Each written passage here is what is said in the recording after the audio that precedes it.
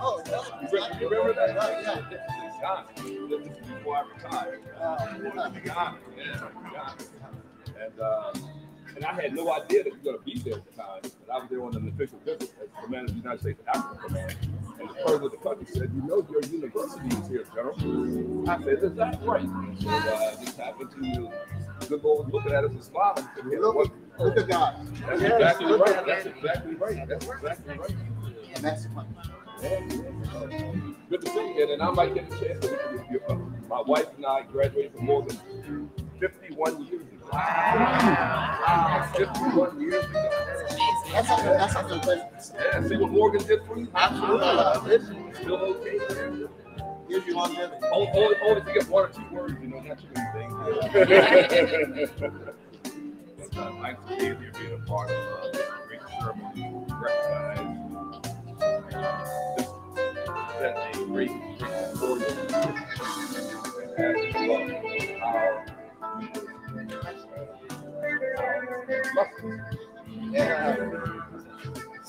we Yeah. Thank all Thank Oh,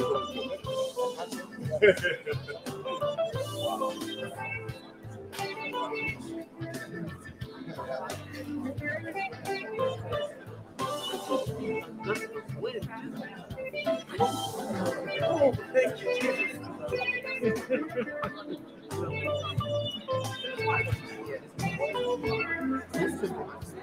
Y'all want water? I'm gonna get to the bookstore.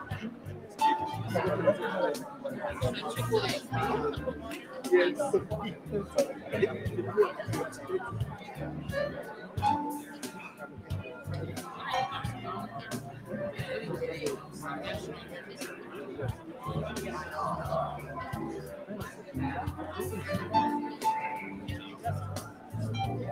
many seniors are here? Graduating seniors. That's what I'm talking about. Okay, how about, how about juniors? One or two sophomores? All right, no freshmen, right? Oh. Oh, Plenty. oh, there you go. Across the spectrum there. A little bit of everything. All the best to you. While you're here and all. God bless you. God bless you.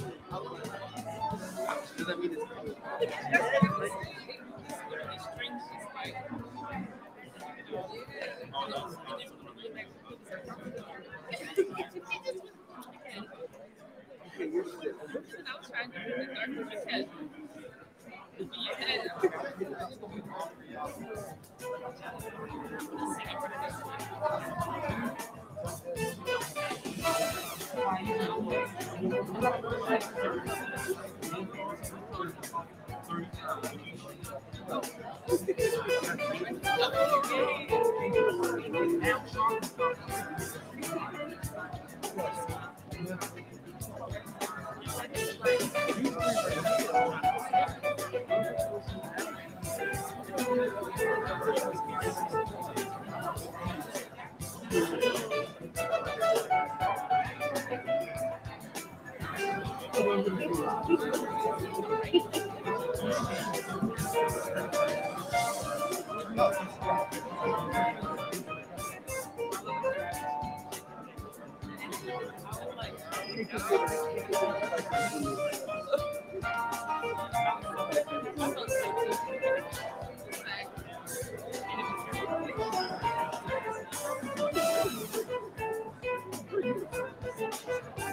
ha ha!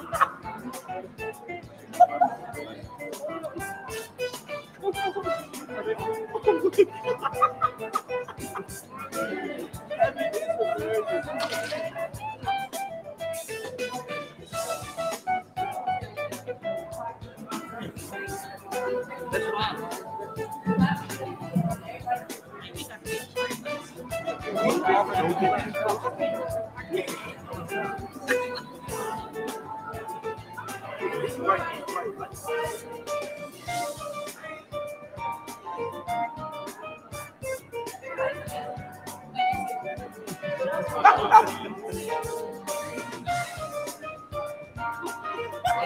said, she said, like your thing. Not wow your thing. Like, she likes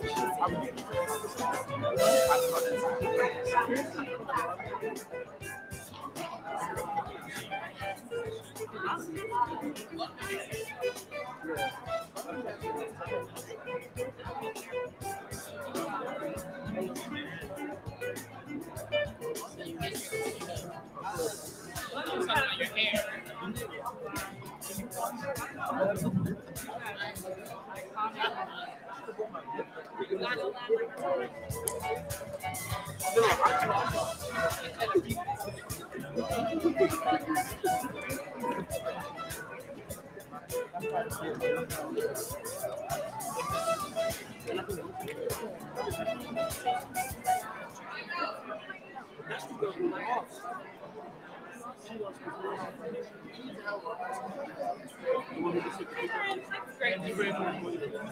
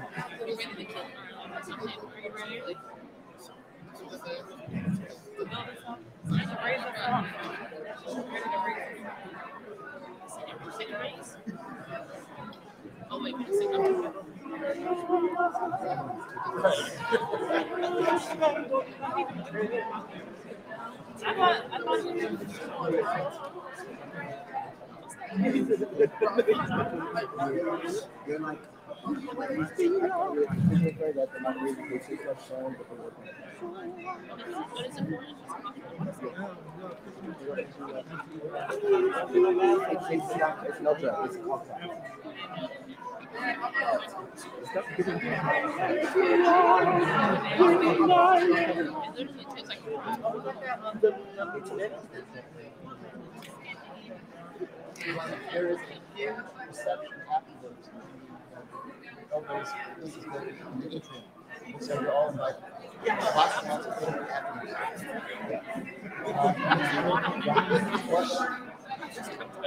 uh, Everyone, uh, it's twelve fifty. I I see this one, try to go to the. Uh, and these water tables.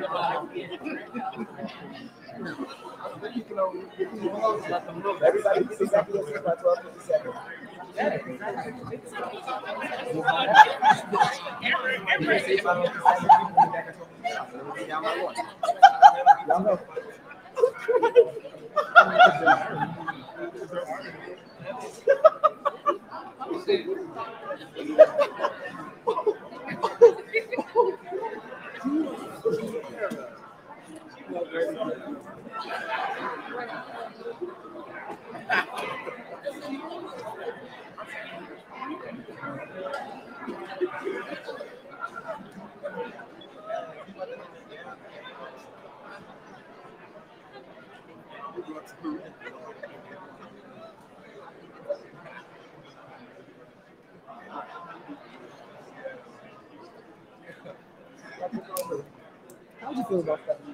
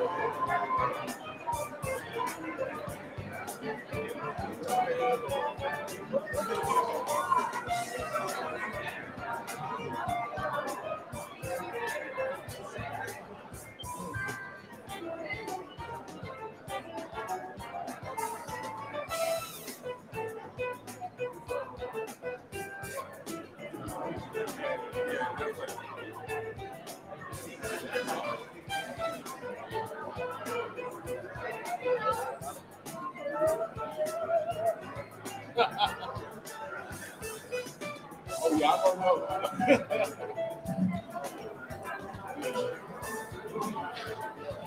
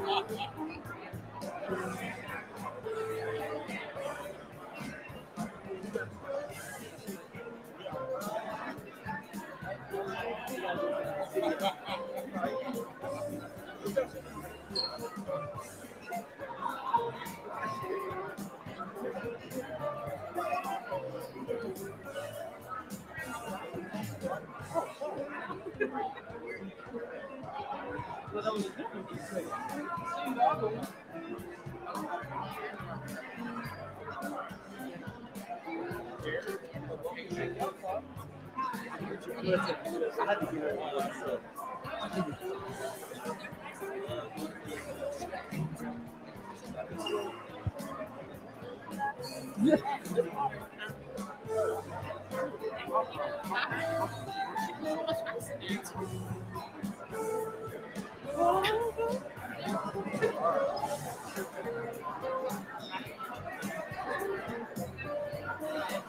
Ladies and gentlemen, please take your seats. Our program is about to begin.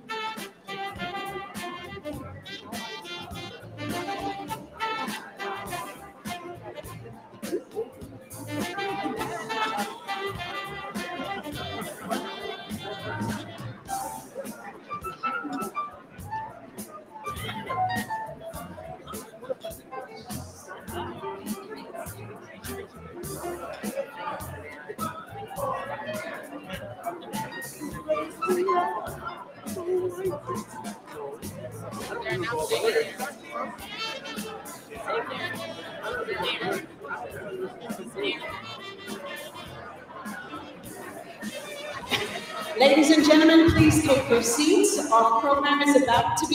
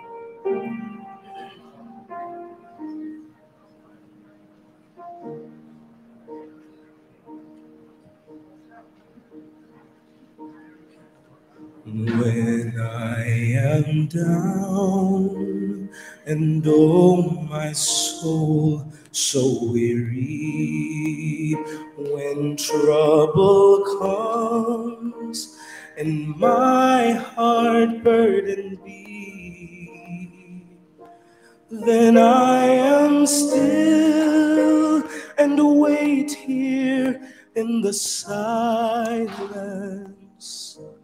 until you come and sit a while with me. You raise me up so I can stand on mountains. You raise me up to walk on stormy seas. I am strong when I am on your shoulder. You raise me up to more than I can be.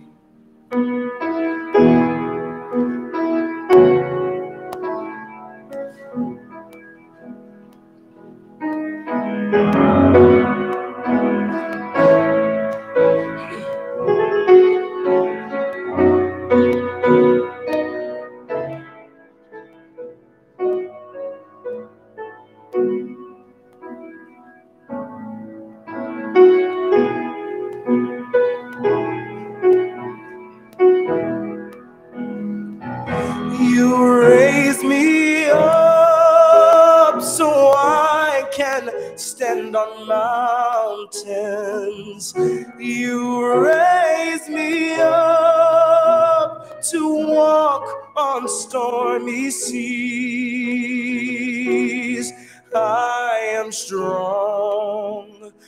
when I am on your shoulder. You raise me up to more than I can be. You raise me up so I can stand on mountains.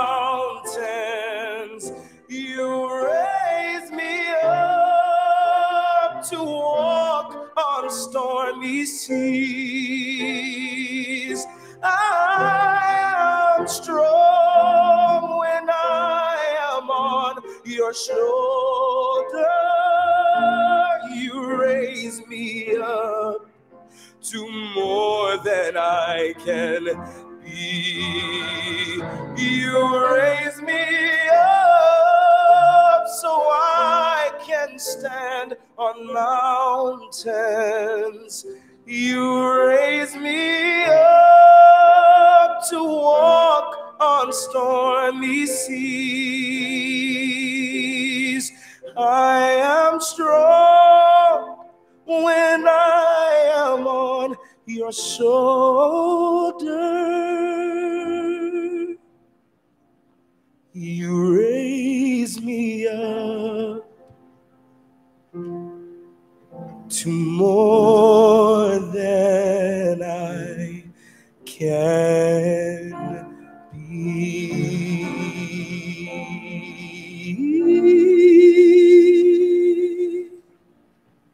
You raise me up to more than I can be.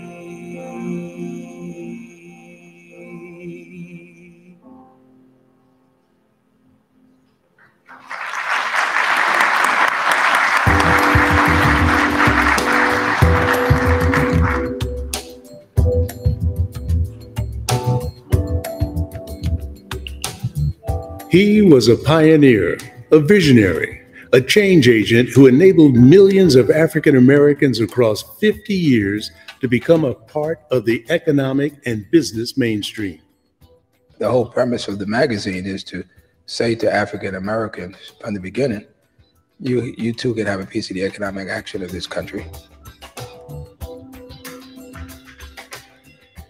His audacious mission grew out of humble beginnings.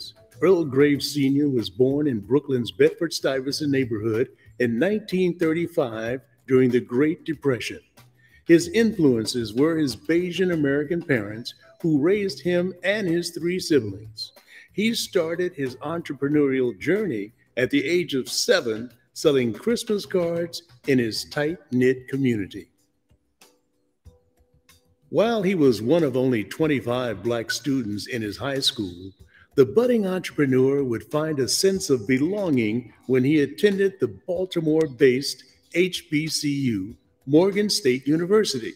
He studied economics, ran track, and pledged Omega Psi Phi. After graduation, his ROTC training propelled him into the Army as a Ranger Lieutenant. Soon after, he was promoted to captain. It was this dashing soldier who won the heart and hand of Brooklyn schoolteacher Barbara Kidd, the soulmate who would steer and steady him through life. Activism and idealism brought him to the side of Robert Kennedy as a senior aide, and then history abruptly changed his life and his direction. Black Enterprise was launched in August 1970. That was the very first issue of Black Enterprise. But the story of Black Enterprise launching in, in August 1970 grew out of something else. Out of tragedy sometimes comes triumph. The tragedy was Robert Kennedy's assassination, which left Earl Graves Sr. unemployed. The triumph would come with this 35 year old's next move, challenging the giants of industry, politics, and power to make way for Black entrepreneurs and executives and for Black enterprise.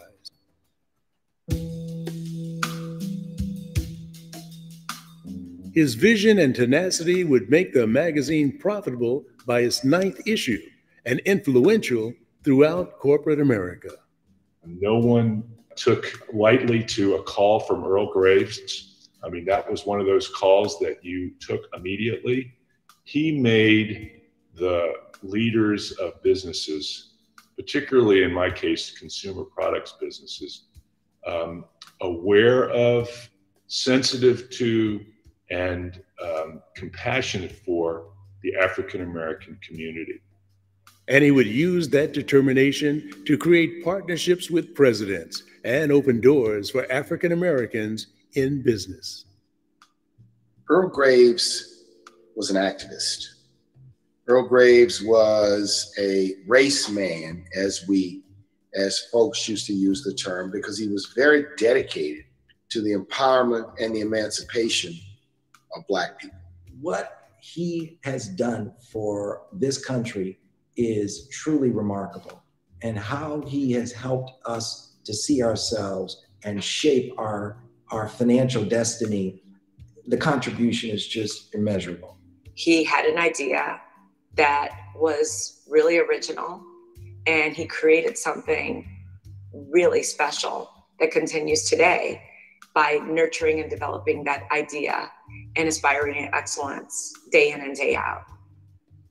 But for Earl Graves Sr., Black Enterprise would represent the platform that would help fuel the aspirations for his family.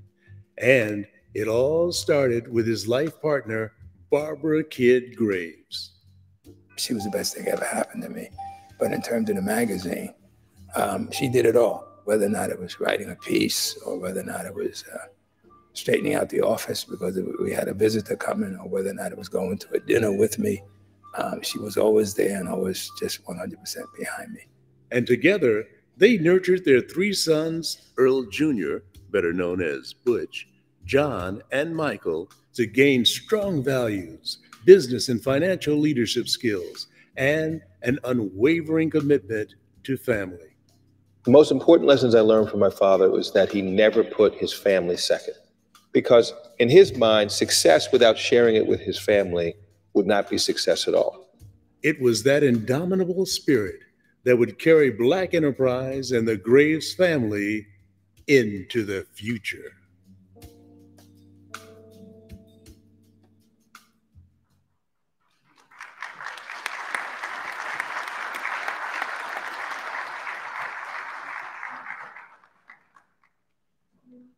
Good afternoon. We have come here today to celebrate a man who is bigger than life, one who has captured our imagination, who has propelled our vision into the future and has expanded the horizons of our people and brought a sense of hope and justice to our country. It has been two years since Earl Graves made his transition from time to eternity. And it seems like in those two years, we've been waiting for this moment to express our love and to celebrate his powerful presence in each of our lives. And so this moment has arrived where we can let it out, where we've been holding it because pandemic held us, where we've been holding it because we were captured by the limits of how we could reach out to each other. And so as we begin this celebration this afternoon, I want you to stand and give Earl Graves a big applause and celebrate and get it out. Come on, stand up. Let's get it out. Let's get it out. Two years. Let's get it out. Let's get it out. Let's live it out.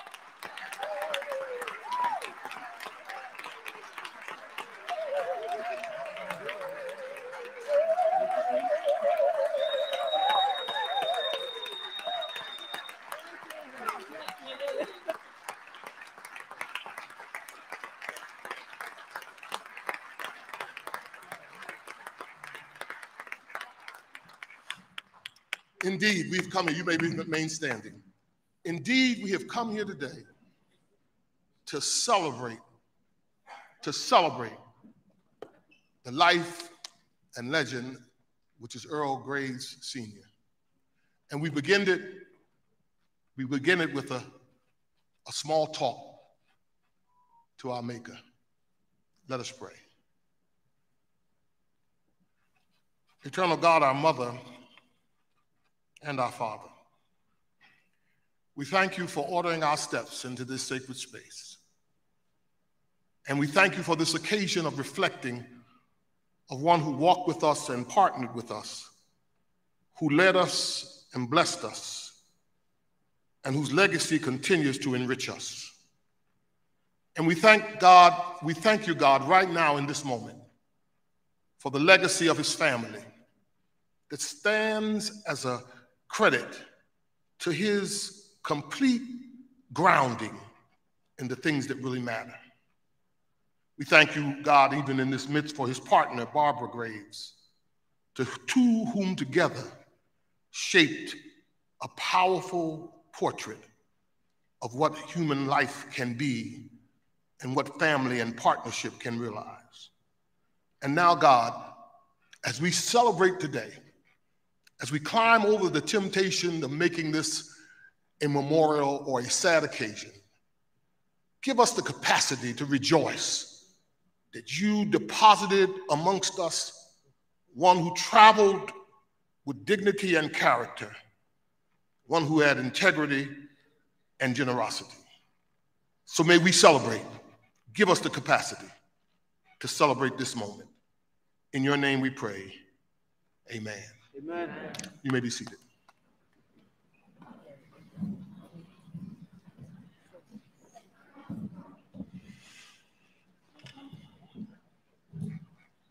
We will go through the program as it is printed. The Reverend Al Sharpton today is unable to be here. Very sadly, the convention, the, the National Action Convention is meeting in New York, and he pushed himself, which he should not have, pushed himself trying to make it possible. But we certainly want to acknowledge on behalf of the National Action Network that Earl Graves was a fighter for justice and social justice. He fueled organizations like the National Action Network, like the Urban League, like the NAACP. And so we celebrate his role as a civil rights leader.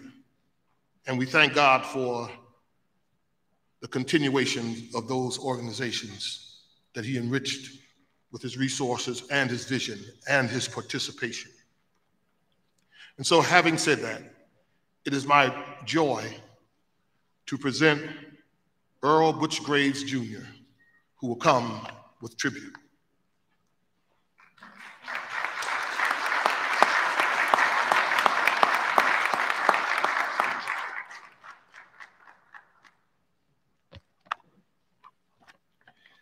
Well, good afternoon, everyone. And thank you to everyone for joining the Graves family this afternoon as we celebrate the life and legacy of Earl Graves Sr. We are literally overwhelmed at the response we have received by those sitting here in attendance and those who are, who are participating virtually by live stream this afternoon. The deep love and respect you have shown to my dad will never be forgotten. As many of you have traveled from all over the world and made great sacrifices to participate in this tribute. The personal phone calls, emails, and texts have been truly touching, and we thank you for your amazing kindness.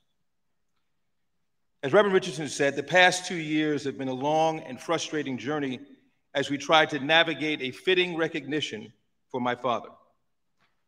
After numerous stops and starts due to the health challenges surrounding the COVID 19 pandemic, we were finally able to secure today at my dad's alma mater for this wonderful tribute. Now, April 6th is indeed a very special day as it marks the exact two year anniversary of my father transitioning to join my mother in their special place in heaven. I would like to take a moment to thank some remarkable people who made this day possible. First, I need to thank Dr. David Wilson, president of Morgan State University, and his dynamic and dedicated staff. They have been nothing short of amazing in opening up their arms to the Graves family, so thank you.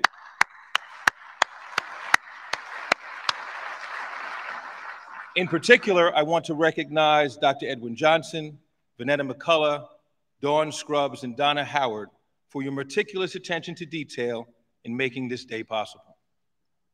Next, I want to recognize my great staff at Black Enterprise. Their professionalism and commitment are truly second to none.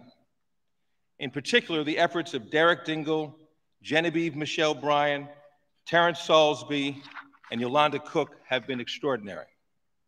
Their long hours and tireless efforts are deeply appreciated, and the results of that hard work are represented in the 50th anniversary edition of Black Enterprise, which was the last print issue that we did with my father on the cover, and today's tribute program. And what surrounds us both in this building and what you will see later this afternoon in the Graves School of Business. So, from the bottom of my heart, thank you. I know my dad has a big smile on his face watching all of this unfold in military precision, just like he would want it to be.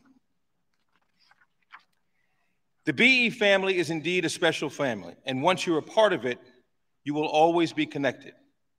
I would like all of the current and past BE family who are here in attendance this afternoon to please stand up and be recognized.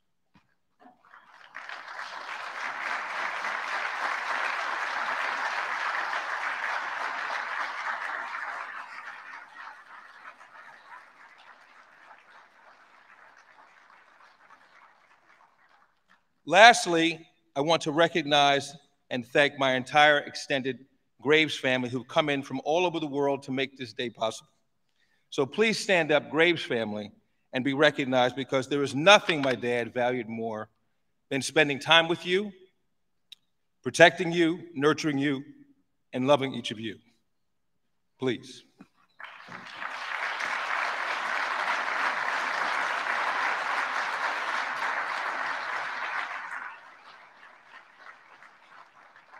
Thank you.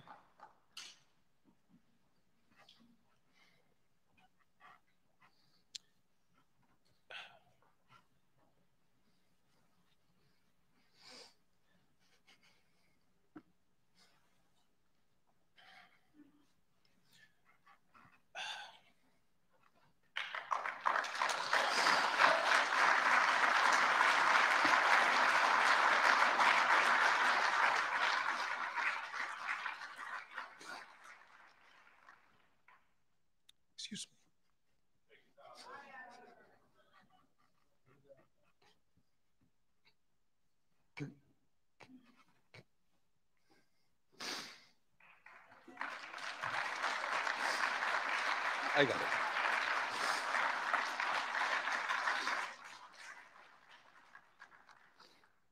This is actually supposed to be funny, but Anyway, when my dad passed away, exactly two years ago, there was an initial sense of grief. Johnny and I met at his bedside within 30 minutes of his passing. And then sat with him for hours as we patiently waited for the funeral home to pick him up. It was surreal, but at the same time, we both found a sense of relief because my dad was no longer in pain. His suffering at the hands of this treacherous Alzheimer's disease was finally over. You see,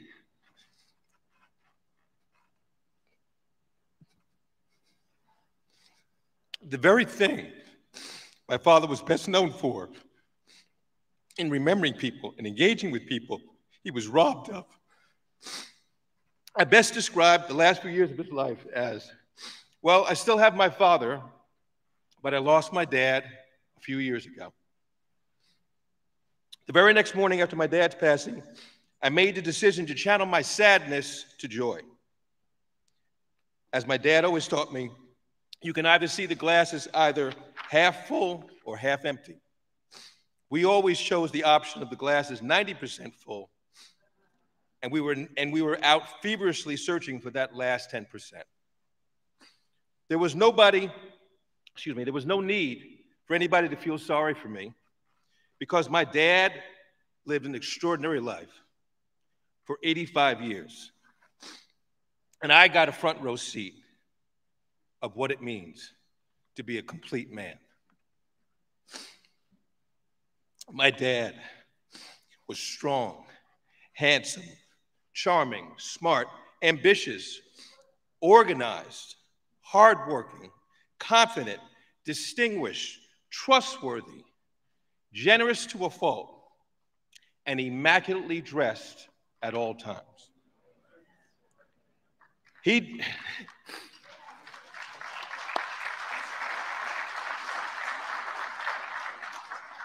he did not embrace the notion or implementation of business casual. Because as he would repeat to me on numerous occasions, Butch, there is nothing casual about conducting business. Therefore, we will not be instituting business casual. It is the creed upon which he lived by and is how Black Enterprise continues to do business to this day some 52 years later. As he liked to say, black people already have one arm tied behind their back as they navigate the business world. Why on earth would you put the other arm behind your back by dressing inappropriately?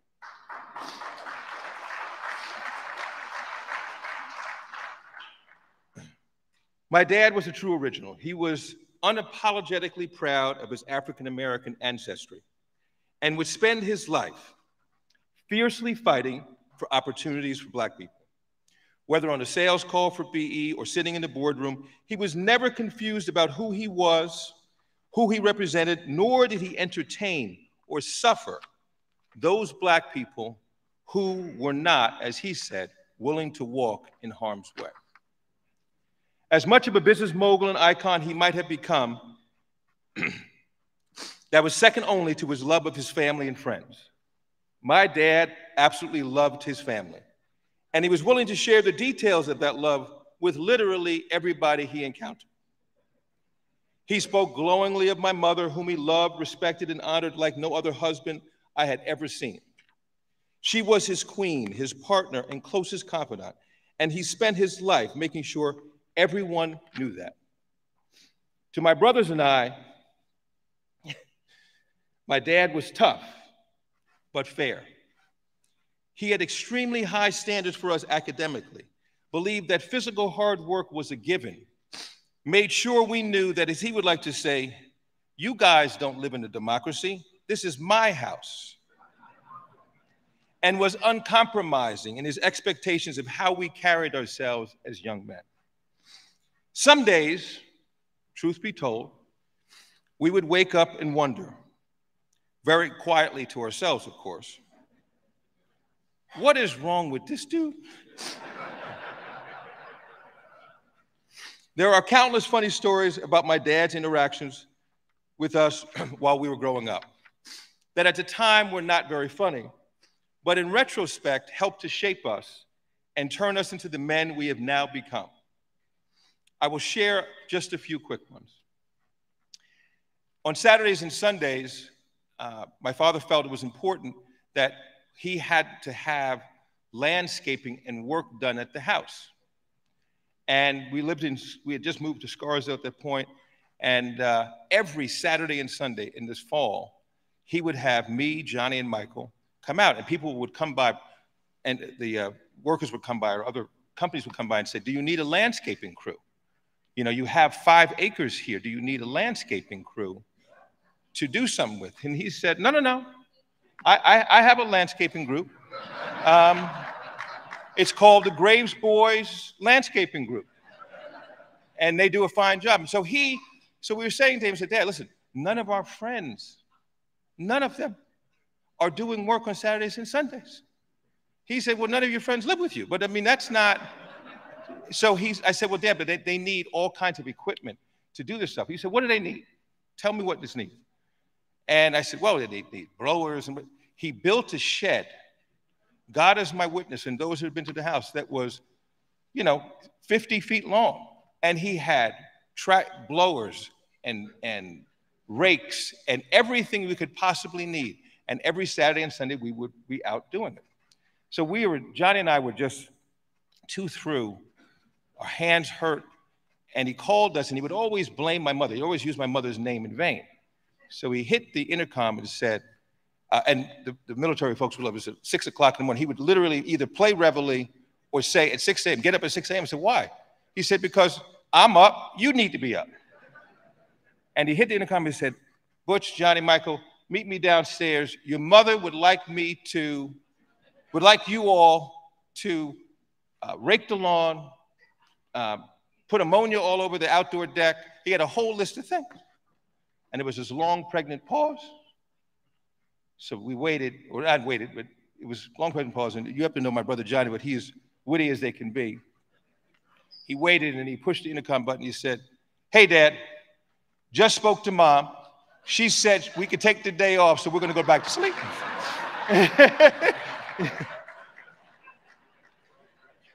Needless to say, that didn't go over very well. But he was blaming, he wanted us to work, and he, he was not uncompromising in that aspect. Second quick story was how we were to be addressed, how he was to be addressed. He said, at a time we were young, he said, You can respond to me. When I call you, you respond to me as one of the three, one of the four things. Yes, sir. Yes, dad. No, sir. No, dad. Those are your only four options. The word yeah, or yes, or what, God forbid, was never to be introduced. And so we did that for a while. And then as I, as I was getting older, I was probably about age 14 or 15. And I had just about grown tired of he was asking me to do this, asking me to do that. So he called me. I was in the garage one day and said, You know what? I'm getting pretty big. It's time for me to let him know that there's two men in this house.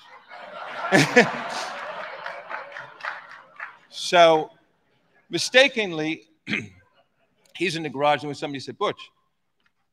And I said, you know, I had just come from probably washing cha- deck chairs outside, dirt all over us. And he said, What, Butch? And he said, and I said, What?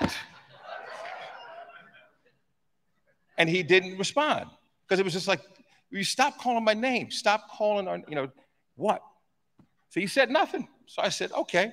He recognized that there must be two men in the house and he's going to back up. So I walked over to one side of the garage and then I walked back to the other. I was walking towards him.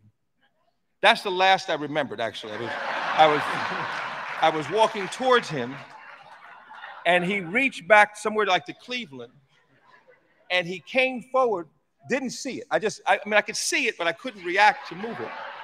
And literally hit me in the middle of my chest age 14, and I was my chest concaved around his fist. And he hit me so hard, I had no breath. It was knocked to the ground.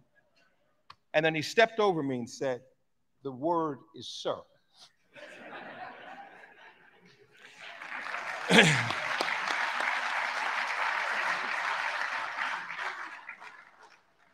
the remarkable thing about my dad was that no matter how busy he was with work commitments, he always found time to be present at our sporting events and activities. He would attend our basketball games in high school and college and wear this embarrassing sweatshirt that simply said, Graves Dad, while banging loudly on a cowbell. It did not faze him what others thought about his style, and in classic Earl Graves charm, was able to convince other parents on our team to start wearing similar sweatshirts that he would proudly provide for them. Now, as much as he enjoyed spending time with his sons, that paled in comparison to how much he loved and enjoyed and adored his grandchildren. In fact, one time he told me, Butch, I'll be honest, if I knew back in the day how much fun grandchildren would be, I would have skipped children altogether. As you will no doubt hear from, my, from other speakers today, my dad loved being surrounded by people. If you were his friend, you became part of the family instantaneously. He loved to host parties and family gatherings at our homes in Scarsdale and in Sag Harbor. It did not matter the occasion, and any excuse to host a party, he would do. Super Bowl parties, fundraising for HBCUs, political fundraisers, family Christmas party, birthday parties, etc. By the way, there was no invitation list. Whomever he encountered was by extension invited. Therefore, he created, it created this unique group of friends, and by my, my parents' friends and then our friends, who, when blended together, truly became magical get togethers. In closing, the most important thing I wanted to share and pay tribute to regarding my dad was about his love of people. My dad absolutely loved talking to people. It did not matter your station in life. He treated everyone the same. He would literally walk up to strangers and genuinely be interested in talking to them about their life. And if possible, then help them in some manner if they ask. It was truly remarkable whether strolling through an airport, shopping in a store, attending a black tie business dinner, or walking in a hospital, he engaged everyone. And if you were not careful, you might very well end up with one of the family Christmas cards that he always had at the ready. Nobody was too big and nobody was too small to talk to. The depth of his authentic kindness had no parameters. As each of us grow older and wiser, the things our parents used to say to us that seemed so ridiculous at that time all begin to come true. There is not a day that goes by that I don't think about my mother and father. It brings me great joy and laughter as I replay, as I call them, the earls of wisdom that my dad shared with me.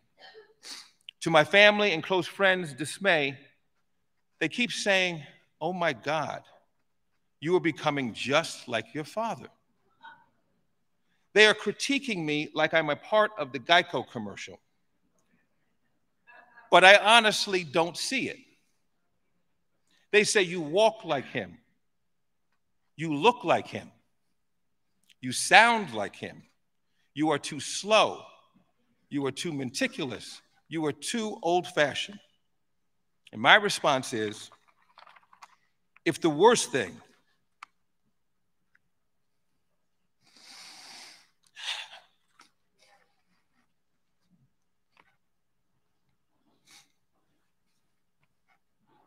if the worst thing you could say about me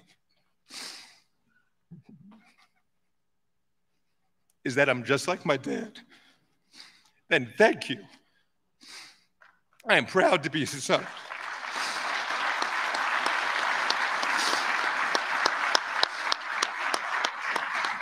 I am.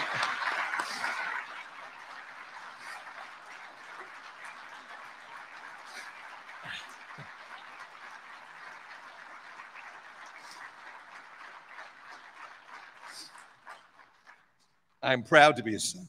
I'm proud to be his namesake. And God has blessed me beyond every measure. Thank you all. I love you, Dad.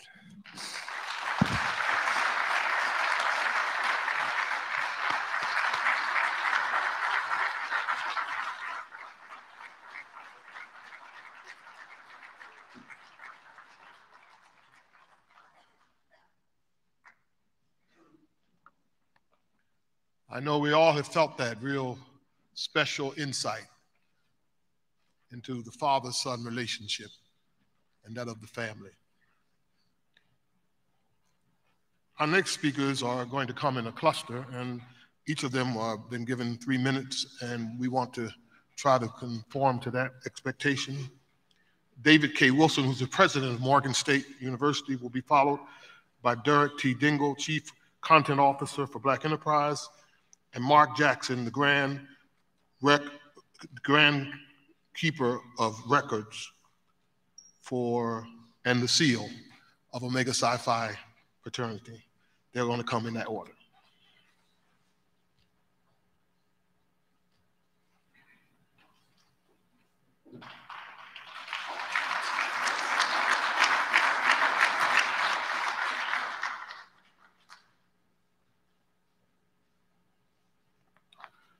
Good afternoon. Uh, Butch, uh, what an amazing tribute to your father, a giant of a man who obviously raised giant sons. You know, it is the responsibility of history and historians to diligently seek to uncover and then to capture the lives and legacies of phenomenal leaders like Mr. Earl G. Graves Sr. I certainly would not attempt to do this in my brief remarks this afternoon. But I do understand that leaders like him pass through our universe just once in a lifetime. I do understand that if you are conscious, aware, apprised, and in the know when it comes to transformational forces, then you must be acquainted with Mr. Graves' name and his life's work. To the Graves family and to all friends and former colleagues of Earl G. Graves Sr., on behalf of the Morgan State University family, our Board of Regents, faculty, staff, students, and alumni spread all over the world, I certainly welcome you this afternoon to our national treasure and to Mr. Graves' beloved alma mater.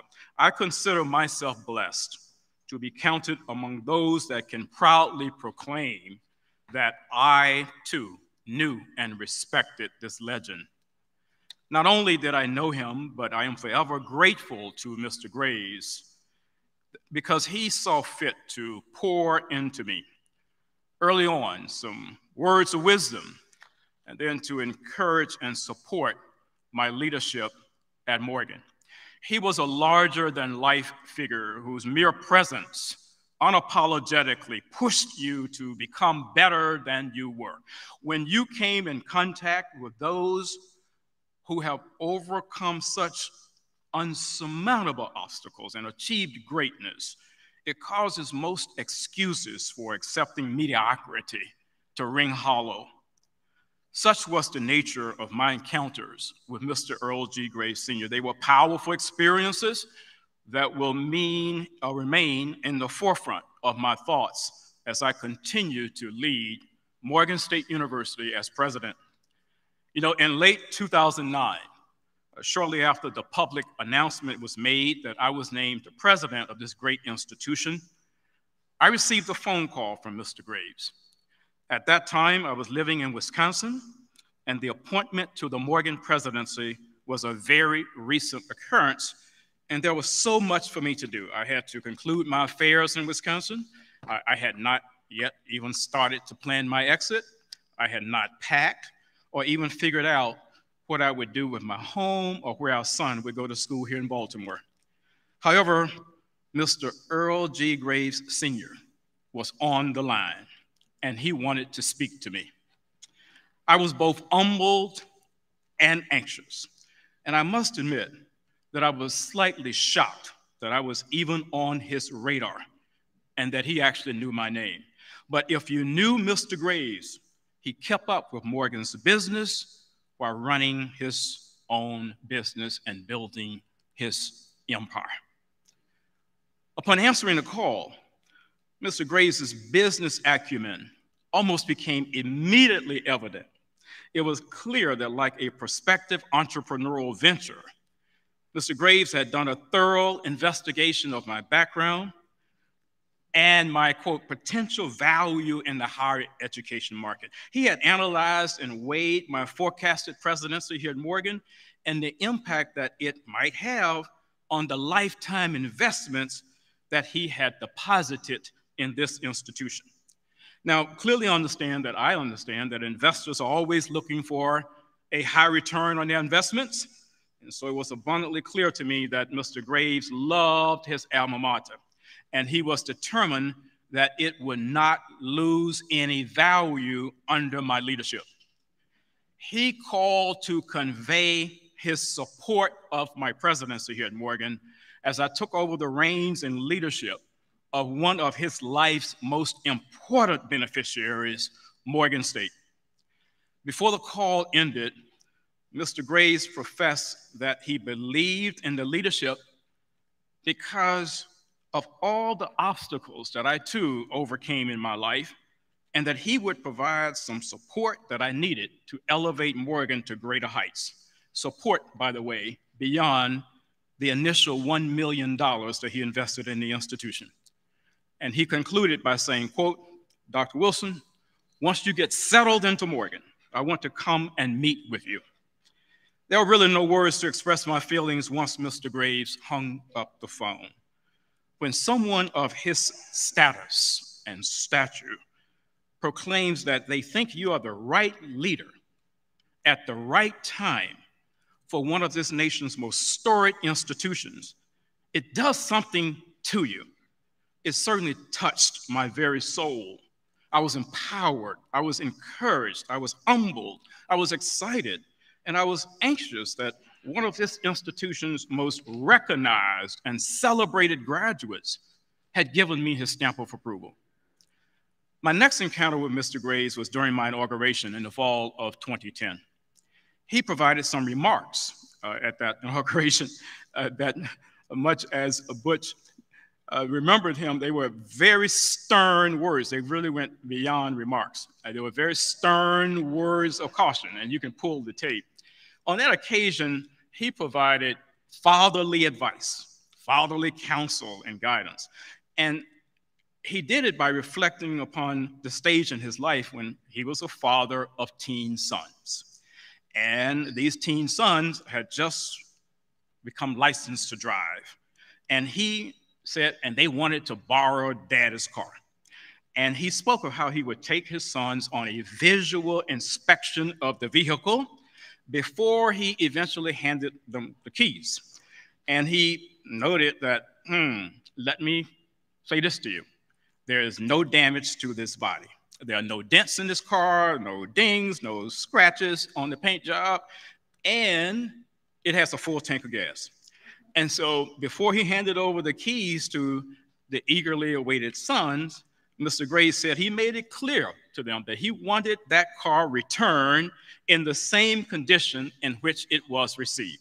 And so he used that example to make clear to me uh, that I was receiving Morgan State University in a certain condition and that Morgan was poised for limitless potential for its future. And he wanted me to know that under no circumstances was I to damage his beloved alma mater or wreck it and not allow its fuel tank to go unfilled. That was my first encounter. And then, um, as I bring this to a close, my, my next encounter I had with him, um, he actually fulfilled that intent uh, to meet with me from that first phone call. And on this occasion, uh, he came into my office and he was a political strategist. And as I remember the conversation, it went something like this quote, President Wilson, although you are the head of one of the nation's most important higher education institutions, I know your hands are often bound and your efforts are limited by your status as an employee of a public university in Maryland. He went on to say, quote, there are so many important places and spaces that you must visit frequently, such as purchasing tables at business events. And he said, You must do this because networking, Butch, as we were talking last night, networking, networking, networking, he said, is so critical to the elevation of Morgan. And I know you cannot use state dollars to enter those spaces. He said, There are conversations taking place in those spaces that you must be central to in order to elevate this institution's future. And he then reached in his pocket and he pulled out his checkbook and he handed me a check. And he said, President Wilson, you take this donation and make sure that you are part of those conversations and that Morgan State University remain a constant and continual topic for elevation. And so, although Mr. Graves' physical presence has left us, his legacy is thriving literally everywhere on this campus today.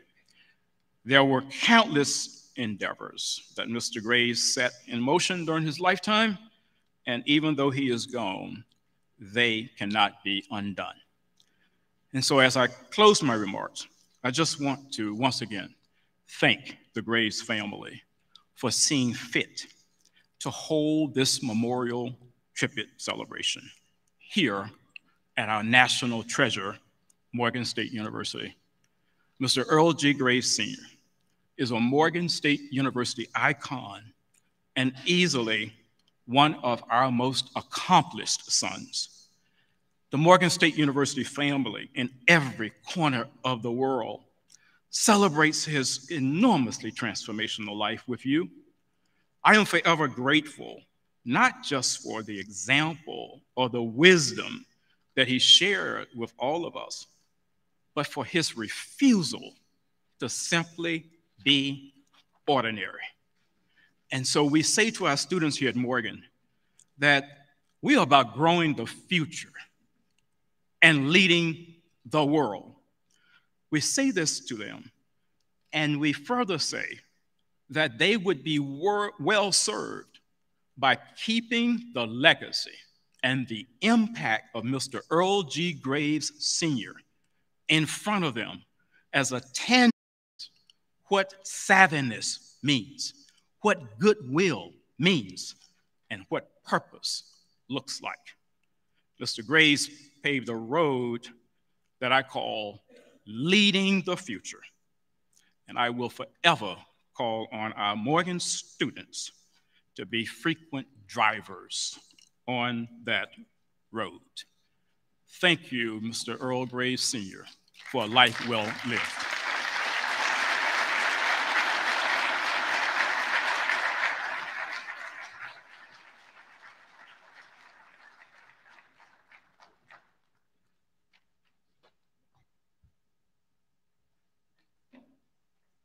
Good afternoon.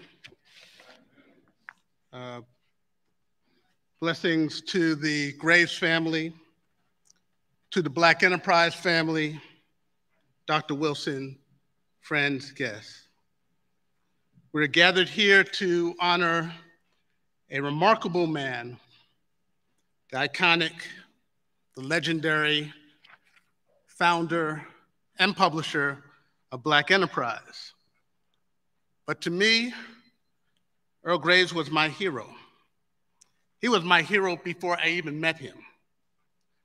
When you grow up as a young man without a strong male role model, you look for a father figure, someone to fill that void. Coming of age, I discovered that role model. I discovered that father figure in a copy of Black Enterprise magazine and its monthly publisher's page. He was powerful, bold, courageous, and unequivocal. He would not concede an inch to ensure that African Americans gained access to opportunities, their rightful place in society. And he would say that we would need to gain our measure of the American dream. When I read the pub page and I saw that line, I said, Oh, that's golden. I'm going to take that line. That's golden. It is kismet and was my destiny to work for Black Enterprise and Mr. Graves.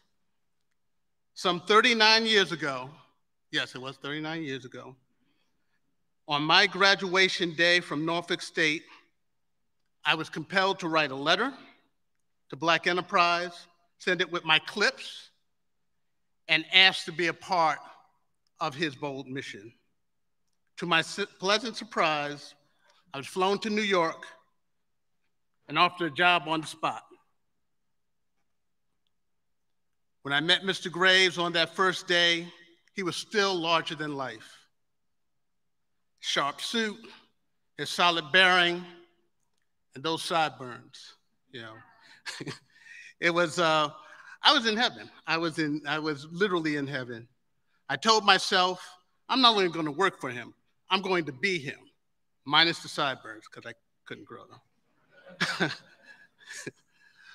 in that conversation, he talked about the fact that we needed to be the beacon for African Americans. We needed to drive the agenda. And then he told me, young man, there is nothing in this world that you can't do.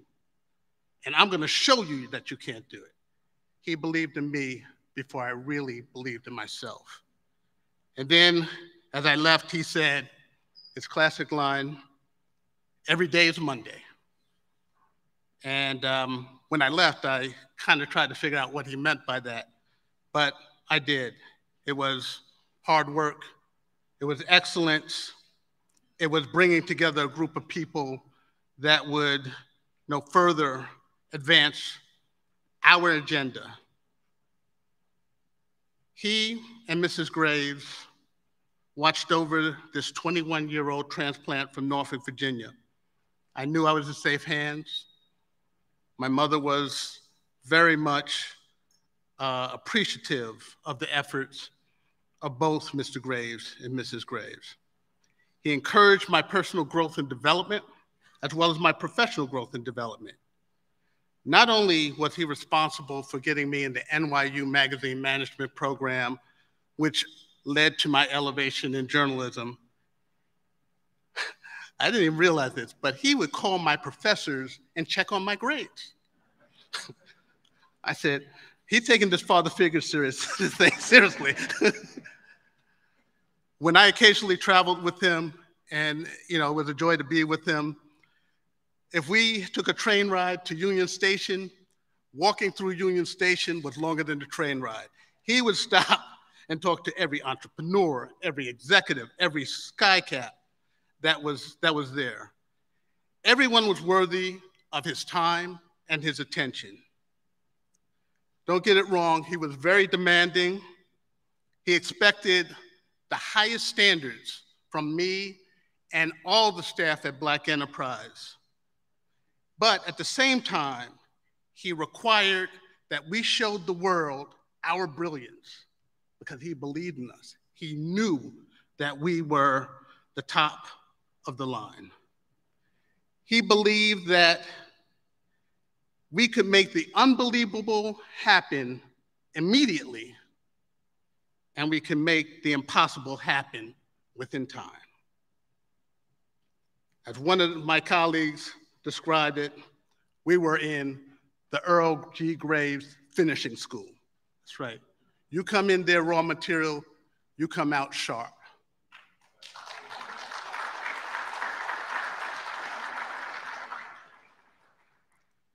He gave me and so many other black business journalists, and keep in mind in the 80s, we were locked out of the mainstream media, especially the business media. They didn't think we were smart enough, we didn't think we could handle the figures, but not Mr. Graves. He gave us the opportunity to chronicle some of the most important transformative events in history. I didn't say black history, in history. And interview empire builders, nation shapers, corporate powerhouses, and yes, the President of the United States. And when I did it, he was sitting right next to me. He also charged and infused in us the mission to make sure that we inform, instruct, and change lives, which we did. And he did it all, and this is key to what I gained from him, with his unshakable optimism. In fact, and in fact, at the beginning of each year, he would give us a glass that was half full. And he said, I want you to fill it further. Strategic acumen and classic humor. Being around Mr. Graves, he was just so funny. Um, we gave him, uh, you know, I gave him the term Mr. G because he was um, just, you know, such a human being. He was someone who would not only care about what I was doing for Black Enterprise, but I would come in his office and he would say, Hey, pork chop. pork chop. Uh, he says, How's your life going?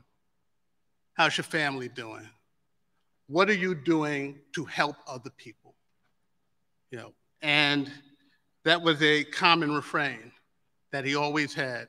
He wanted to make sure that you were growing not only as a professional, but as a total person. So, in closing, I just want to say that what Mr. Graves gave all of us, he gave us so many gifts, but he wanted us to reach our full potential. He wanted all of us to lead our best lives. He wanted all of us to win. And he was our biggest cheerleader when we made strides and achievements. We, his legacy resides in us. We carry it forward, and we will continue his work, and we will continue to win. Mr. Graves, I uh, love you. I miss you. And thank you so much for all your gifts. Thank you.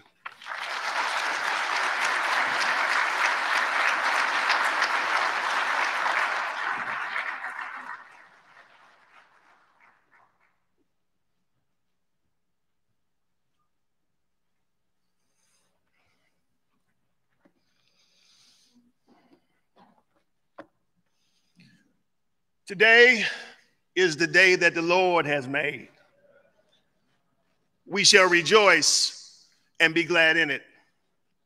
To the family, to friends, to distinguished guests, to the men of Omega, good afternoon. My name is Mark Jackson. I am the Grand Keeper of Records and Seal of the Omega Psi Phi Fraternity Incorporated. And on behalf of the Omega Psi Phi Fraternity Incorporated, which is comprised of more than 750 chapters with a presence in 16 countries, on five continents, across 19 time zones, and whose memberships total more than 150,000 initiated men.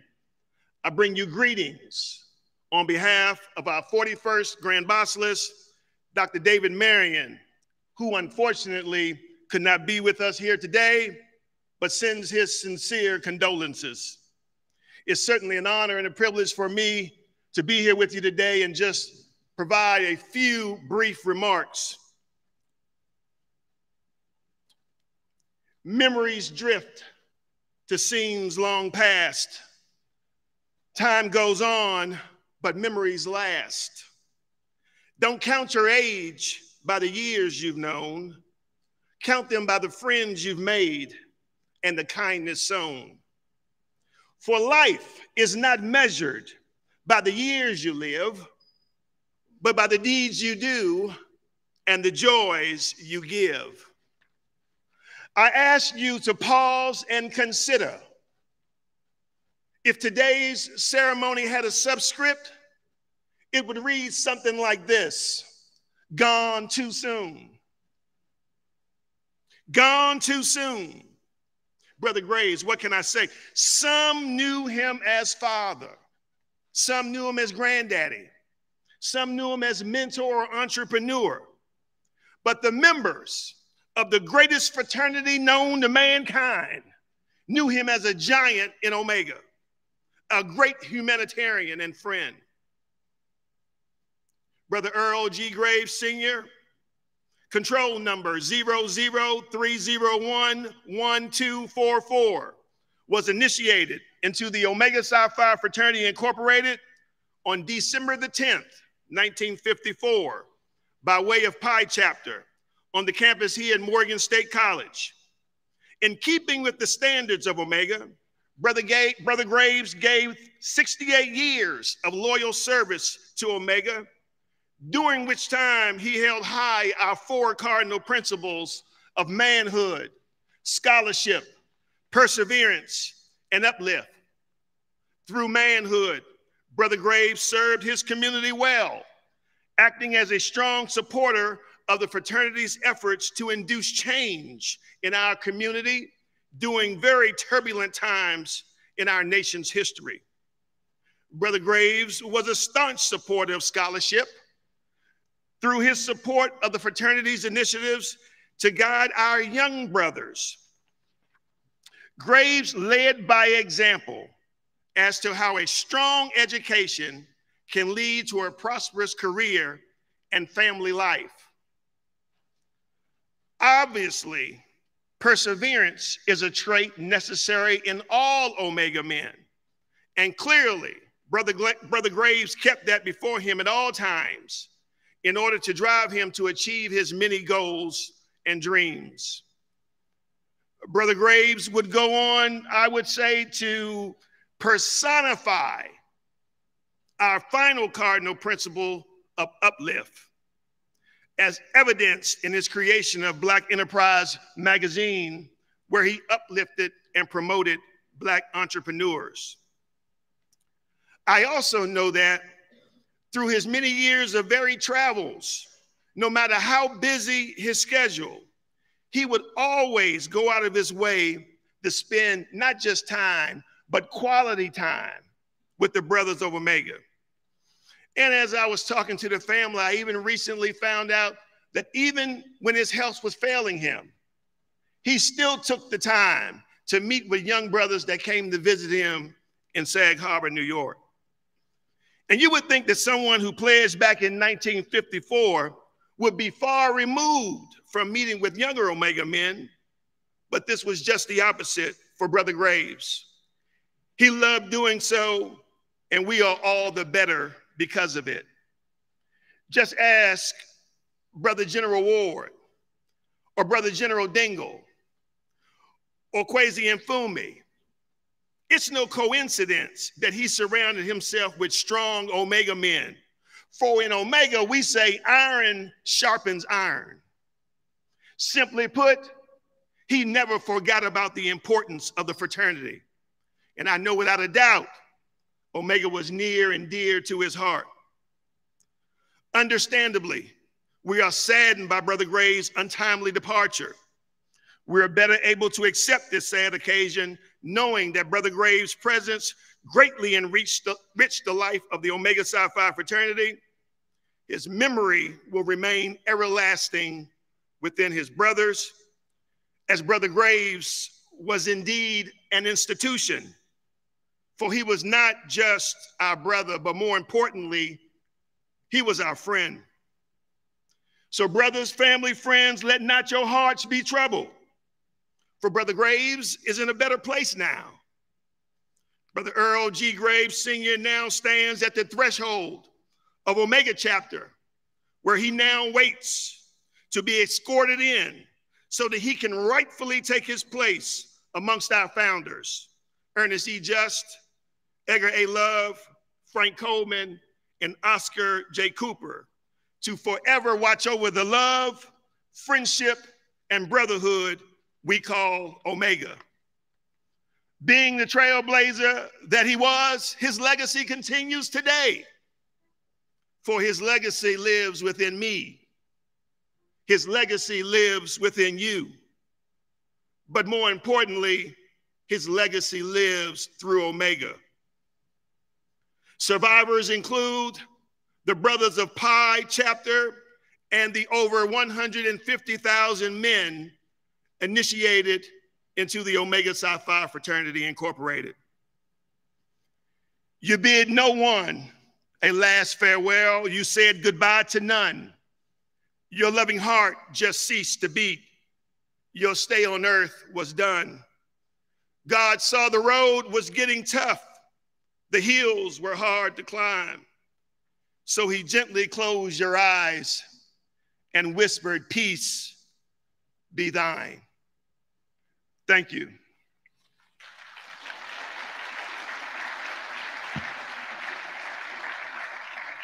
We will now, I will ask the brothers of Omega Psi Phi Fraternity Incorporated to please stand.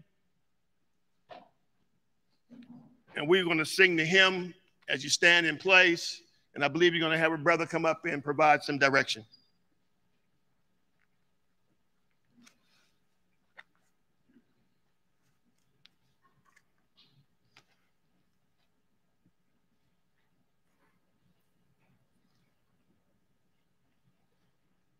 Oh, may God dear, we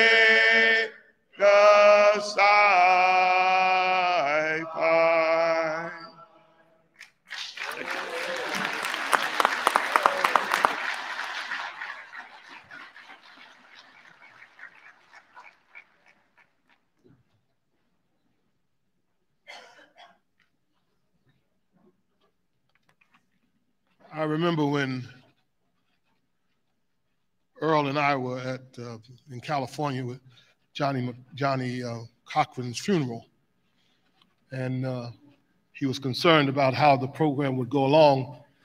And Earl made a signs, made several signs, and when the speakers would be up, one sign would go two minutes, next sign would go three minutes.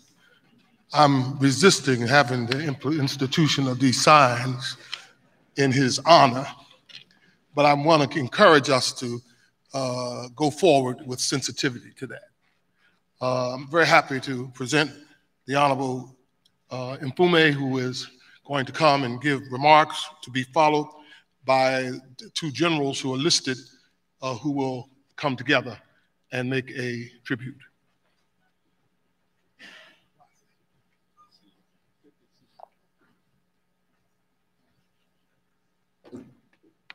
Good afternoon. Reverend Richardson, it's good to see you. It's been almost 10 years since Barbara's funeral up at Grace, but always good to see you. Um, and to my brothers of Omega, friendship is essential to the soul. My thanks to Earl's family for affording me the opportunity to join with so many of you in remembering him and in saluting him at this memorial service that honors his life. Butch, Johnny, Michael, the late Dr. Benjamin Mays of Morehouse College once said that he or she who starts behind in the race of life would either have to run faster or forever remain behind. Earl always ran faster. And for some of us, such as myself, he will always, always be bigger than life. In fact, for him to call me his little brother that day, many, many years ago, meant more to me than most people could ever imagine. He was unawed by opinion unseduced by flattery, and undismayed by disasters. There are those today who will rightfully highlight his business acumen, his gregarious and popular demeanor, his political savvy as displayed through the campaign of Bobby Kennedy, and of course, his many well earned accolades and awards. But Earl would tell you if he were right here, right now, that without Barbara, he would not have any of that. She was his partner, his counselor, his wife of 51 years, and the bedrock of the Graves family. And oftentimes, when you listen to uh, Butch and Johnny, she was also like the judge that got you out of jail after you'd been sentenced for something. It's important to note, as has been said, so excuse my redundancy here, but it is important to note that family was the most important thing to both of them. It was always good to go up to the home in Scarsdale, particularly around the Christmas holidays, and to see how meticulously the poinsettias, the trimmings, everything was in place throughout the entire house. It almost looked like a winter wonderland. And then to go back a few weeks later for the Super Bowl parties. And of course, Dr. Wilson, Earl, and I were proudly decked out in our Morgan State University sweatshirts. I remember so many times how happy he was to have people there and how happy he was just to engage with people. And then there were some of the predictable things that really became the signature of the Graves household, most notably, as Butch said, the annual uh, Christmas photo card. And sometimes it was twice annual. And Earl would send it out. I've got a collection of them at my house. And then he'd draw a circle around the newest grandson and says, he's handsome like me and draw a circle around my granddaughter and say she's pretty like Barbara. Those photos started out with Judge Butch, Johnny, Michael, Barbara, and Earl, but then came the daughters in laws, and then came the grandkids, and what used to be a small photo on a card got elongated because it was such a great family. And that was Earl's way of marking his time as patriarch of the family and silently but proudly saying, These are the gifts that Barbara and I have given to the world. Now, General Ward, as you know, Earl spent time in the Army in service to his country. And although, unlike you, he never became a general, we always followed him like he was a general. If Earl said it, you believed it. In fact, he could sell air conditioning to an Eskimo with a grin on his face. You just trusted what he had, had to say. I mean, who else could have talked me out of giving up a safe seat in the United States Congress, leaving and going to try to take a chance on saving the NAACP when it was in its darkest hour? It was Earl. It was Judge Leon Higginbotham. It was Hazel Dukes. It was a mob that Earl put together, and he was not going to stop until he had his way. Now, there were funny things. I remember one night on a cruise ship in the middle of the Atlantic Ocean when Wayman Smith, who some of you will remember, and Johnnie Cochran and myself all got together and said, we ought to go out on stage unannounced, dressed like the Temptations, and begin to sing.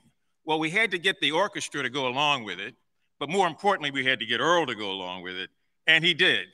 And it was to the astonishment of everyone, and sometimes to their laughter. He just loved, really loved to have fun.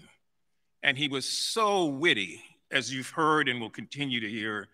Um, some of you who are here and most of you who are watching, each of you have a special memory of Earl G. Graves, and it's because he gave us so many.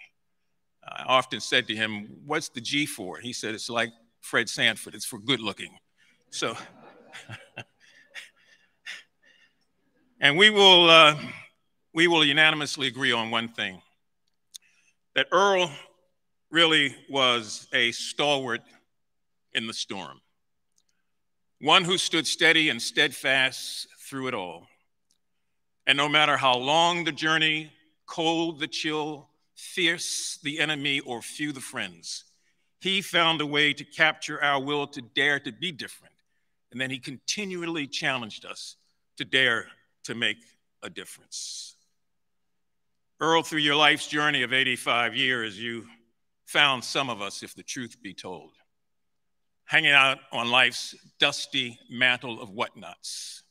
And you found a way to lift us up and dust us off and remind us that we were, in fact, somebody. You took the towering as well as the tiny.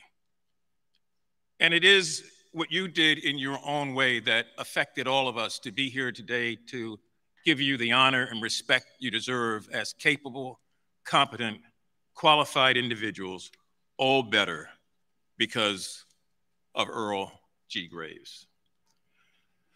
So we honor Earl, not through trinkets or false praise or forced adoration.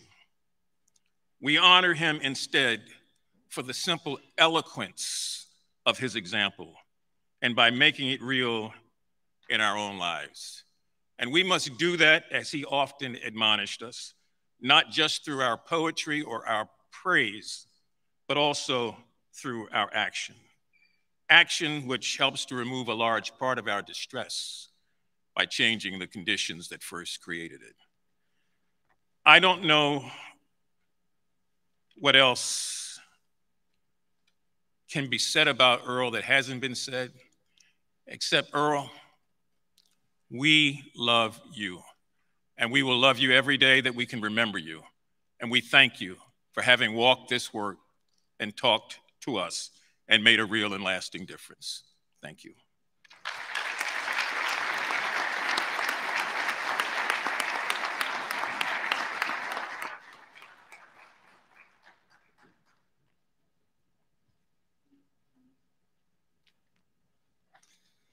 Good afternoon, everyone. To the Graves family, it is a privilege that I have to be here to represent a portion of Earl's life that he valued by his words to me. The old African Proverbs tradition calls, talks to all protocol being observed. So I will dispense with that in order to try to keep with my timeline. All protocol observed, each of you indeed distinguished. I was asked to talk for one reason to illuminate Earl's career as a soldier, his time as a soldier, what that meant. Graves and I, and I called him Graves. In fact, the first time I met him, I called Big Brother Graves. He said, no, no, no, Graves is fine. Had a hard time getting there, but eventually I did after about 25 years. Graves and I met in the early 80s. I was teaching at West Point, and we went to an, an event, and at that event, and I don't recall who it was, wanted to make sure that I knew that Earl Graves was there, both being Morganites, both being Omegas, and him having served wearing the cloth of our nation for the early part of his life out of college. So, as a youngster, I go up to Big Brother Graves and introduce myself, and he says, I know who you are. Because, as was said, he had done his homework, his intelligence was sound. And as a professor at West Point, first question he asked me was, How did you out of Morgan go teach at West Point? He was grinning at the time, but he knew exactly how that happened because he knew what he had gotten from Morgan, and I had gotten the same thing. And that foundation that Earl had at Morgan included his time as a member of the Reserve Officer Training Corps here at Morgan. Upon graduation, commissioned as an infantry lieutenant, my branch, on the 27th of January, 1958 on active duty as a reservist on the 3rd of February, 1958, Second Lieutenant Graves, attending the Infantry Officer Basic Course, February to May of 58, attending Ranger School, June to August of 1958, getting the additional skill qualifier of eight, says defining him as a Ranger, and attending Airborne School August to September 1958 with the additional skill qualifier of seven, identifying him as a paratrooper. First lieutenant, about a year later in 1959, and at that time when Earl graduated and assumed his active duty time, he had a six year obligation to serve. He did two years on active duty, and then he transitioned to the reserves and completed his time. Now, his time would have been over in January of 64 for that six year obligation.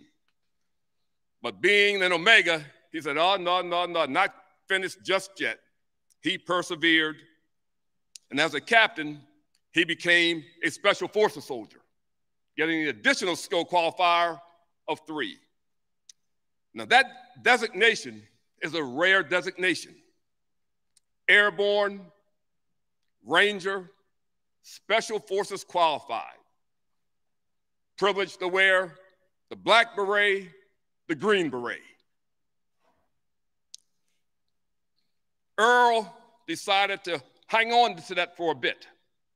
And even after he and Barbara became husband and wife, stayed with his service as a reservist. And it wasn't until the 27th of March, 1974, after 16 years of service that Earl decided that things were going so well in Black Enterprise, I'm moving forward. He would later tell me he wished he had hung on for another four years, and I'll get to that real quick here. But those times, those years, as Graves told me, they kept what I was able to do, what I was able to become, in no small measure I attribute to my time as a soldier. So I talk about Graves as a soldier. Others have talked about him, Butch, great, as a dad, father, husband, businessman, politician, but as a soldier, an infantry soldier, disciplined, responsibility, dedication, teamwork, integrity, honor, duty. Those attributes universal to moving ahead. Now, fast forward, this was in the early 80s. So as I matriculate, as I stay on active duty, because I, I stayed in, I'd get those same postcards, Congressman Mfume, brother Mfume, with respect to where the family is. And Graves said, You've been promoted yet? And I would Yeah, I'm a major now, Graves. You've been promoted yet? I'm a lieutenant colonel now, Graves, commanding the battalion. Then he asked me, Well, how many jumps do you have? And it wasn't until some years later when I was able to tell Graves, Graves, I've jumped out of an airplane and successfully landed 387 times. That was the only thing that I said to Graves that he said, mm, I don't think I can beat that.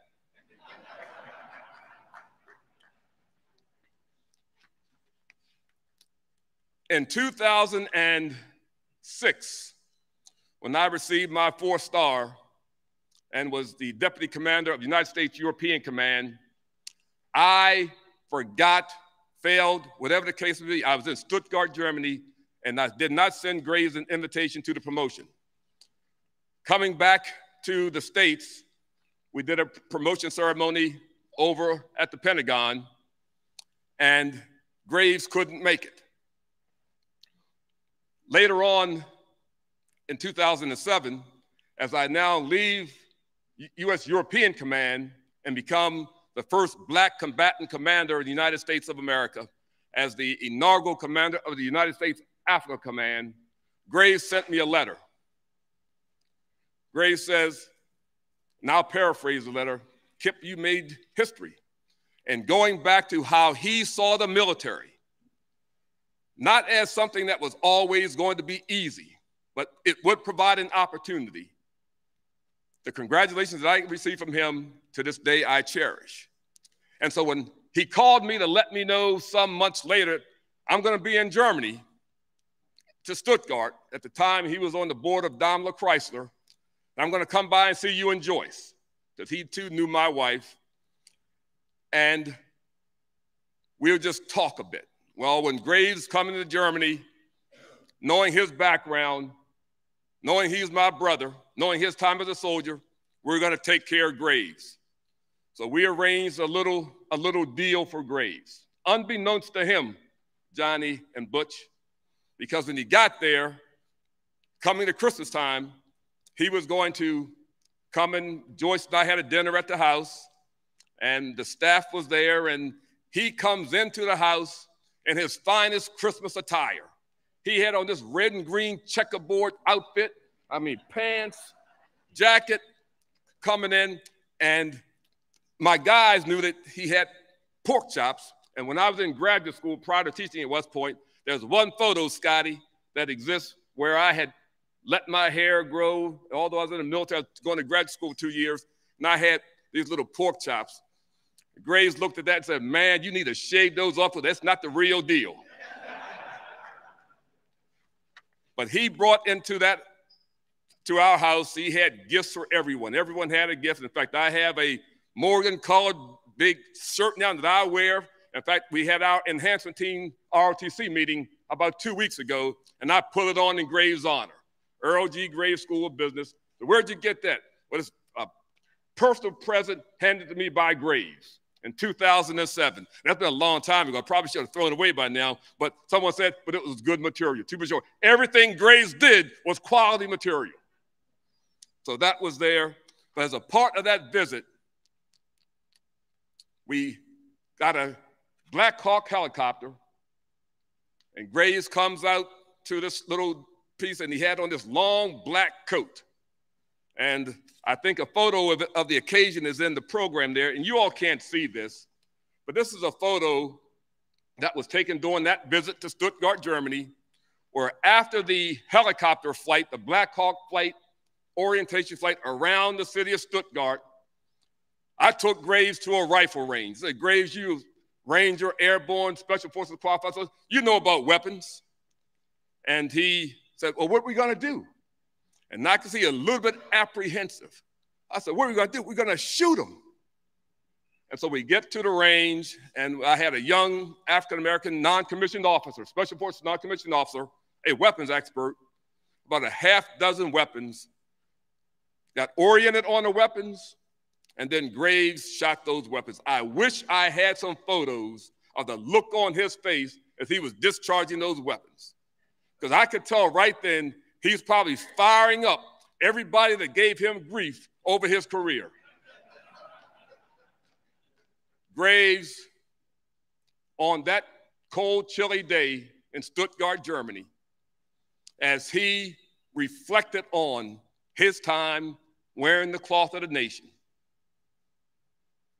knowing that his service and what those foundational tenets had meant for him were so instrumental in launching him forward to the success that he enjoyed.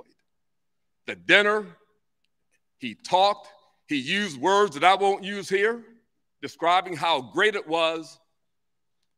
And he said to me, the only thing that would have made this better would be if Barbara had could have been there with he, Joyce, and myself. Then he stopped and he paused. And he had something going on, couldn't tell what it was, but I knew that he was conjuring up all of the past, bringing it forth to that point in time as he was there. So, Graves, your impact, your impact as a professional, as a soldier, but as a man, felt by those who knew you well and those who were blessed to have had the opportunity to be in your company, if only for a brief moment.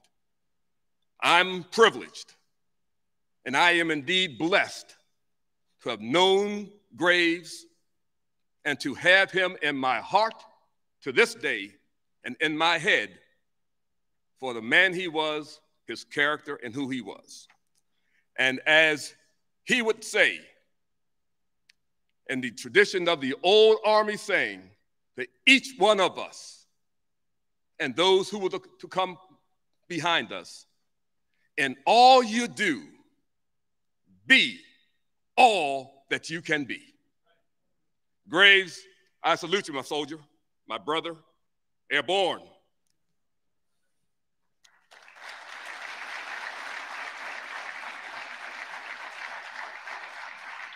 Present the colors.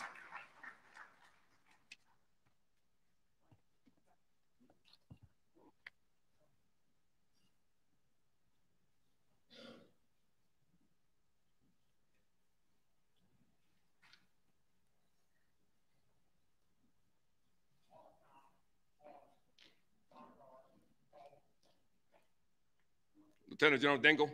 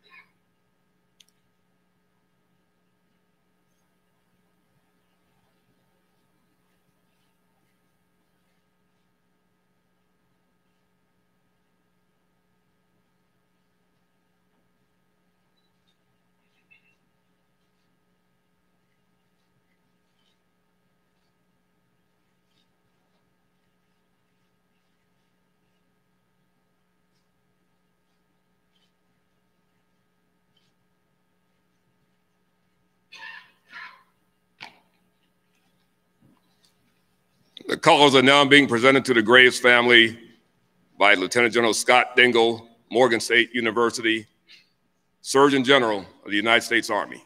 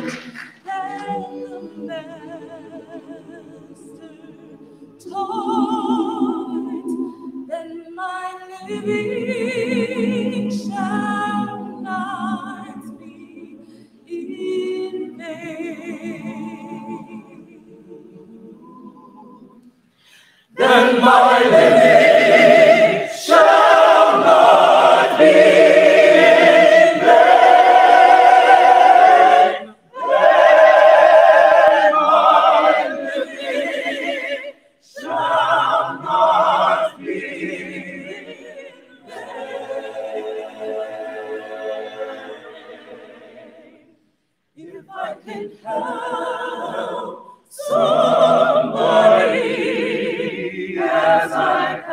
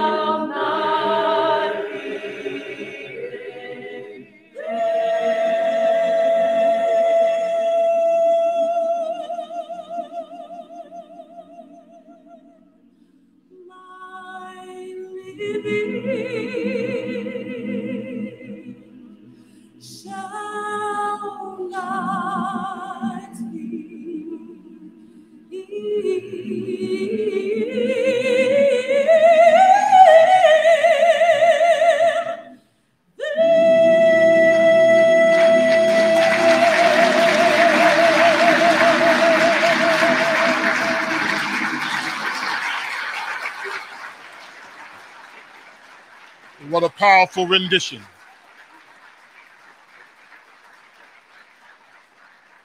Thank you, Morgan State Choir.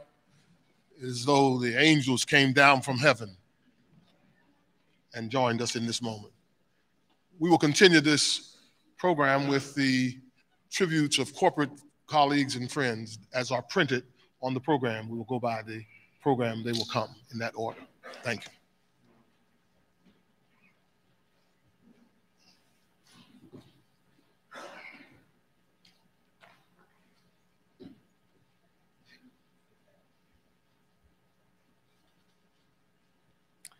Good afternoon. There could not have been a more appropriate song to be sang at this point in time than what we just heard as a tribute to the way Earl Graves lived.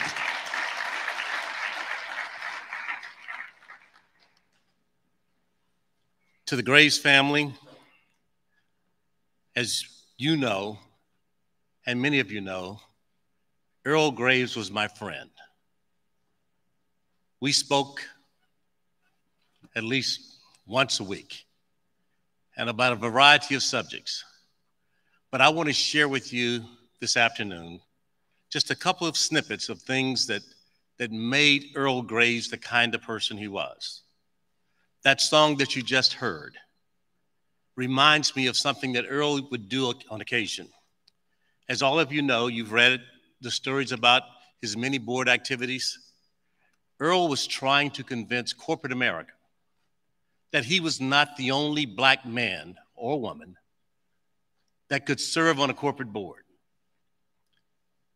He would have meetings at his home, dinners, where he would invite individuals who would come in, CEOs of corporations, Macy's, American Airlines, Rohm and Haas.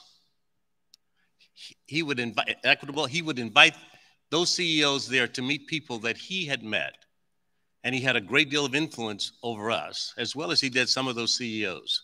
He would invite them just so they could see that there were other people that were available to serve on corporate boards. His mission in life was to make sure that simply because he got there, he wanted to make sure others would follow.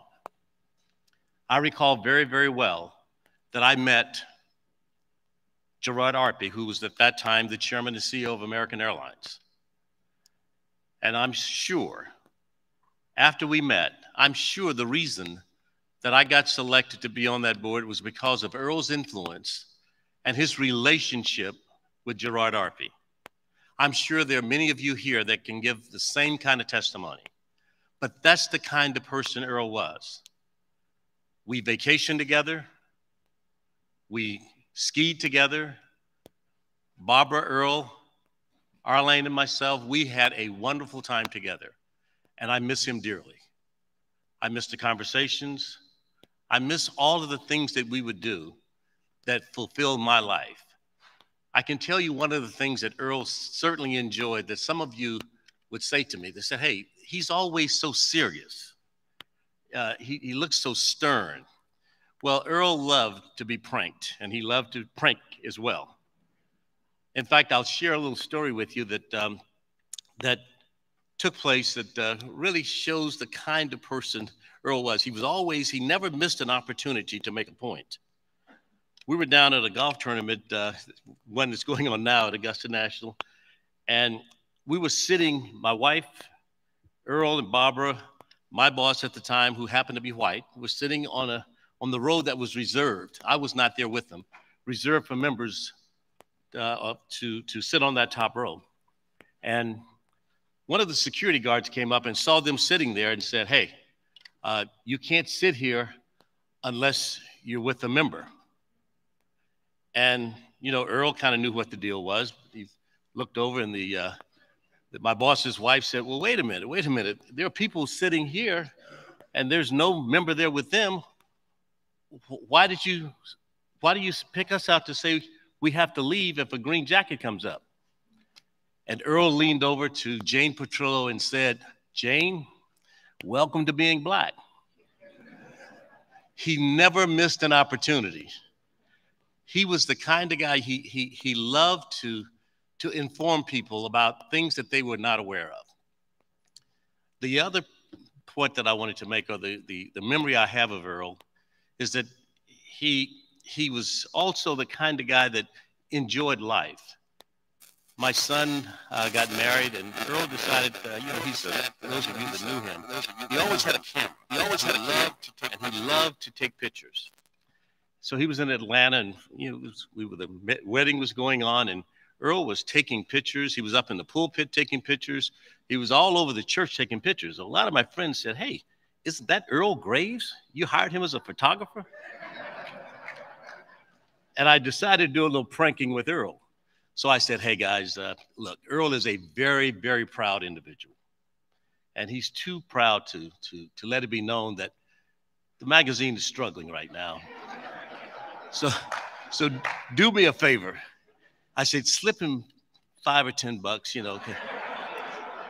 so Earl did not have any idea what I had done. So all of my friends, they all come around, and there were some pretty, you know, prominent people. They, they all slipping in money. So, I'm, so Graves was sitting there thinking, hey, what, what are these guys giving me money for? I said, I told them you were having a rough time at the magazine, so they were helping out. Little did I know that night, all those pictures that Earl took, in fact, he was at the at the rehearsal dinner, he was at the wedding and the reception, and he took all these pictures. And he and Barbara must have been up all night on Saturday night. Uh, they went out to to get these pictures developed. And my son and daughter-in-law, they were leaving for Maui on Sunday. They were at the Ritz Carlton. I got a phone call at seven o'clock in the morning, and it was Earl saying, "Hey, I need pork chop. That's what he called you. If you if you like, you call pork chop. Eat pork chop.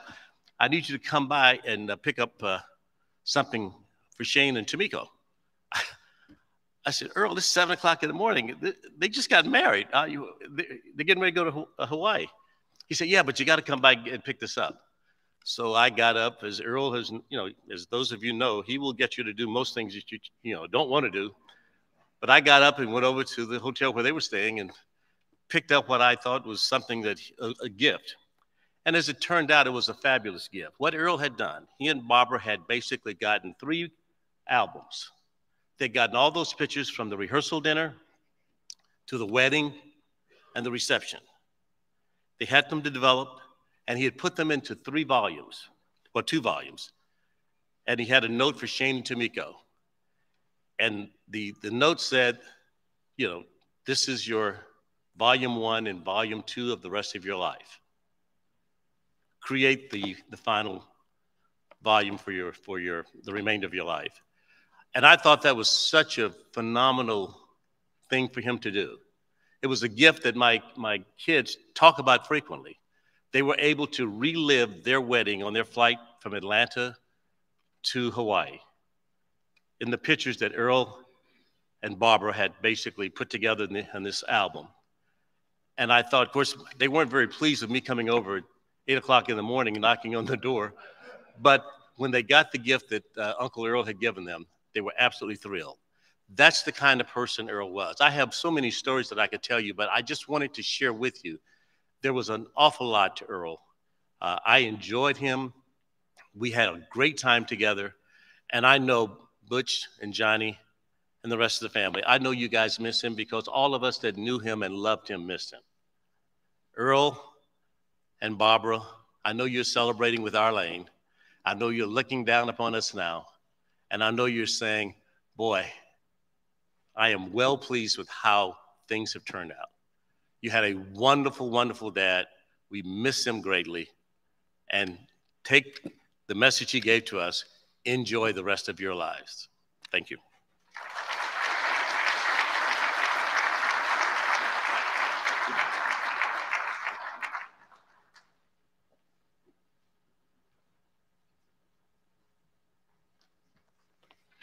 Good afternoon. Um, Morgan State Choir, that song was beautiful.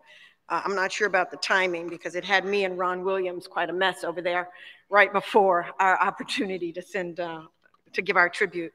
Um, I'm Glenda McNeal. I consider myself to be a member of the Graves family. And I said I wasn't going to cry, but I'm already failing at that. Um, to the Graves family, special guests, and friends, good afternoon. I'm honored to share a little about my relationship with Mr. Graves. It's funny, he was always Mr. Graves to me, never Earl, even in business meetings, because he was always that icon, a pioneer in business, a leader in the fight for equal rights, a role model, and the consummate rainmaker. And while he was all of those things, he, above, above all else, was a family man a mentor, and a friend.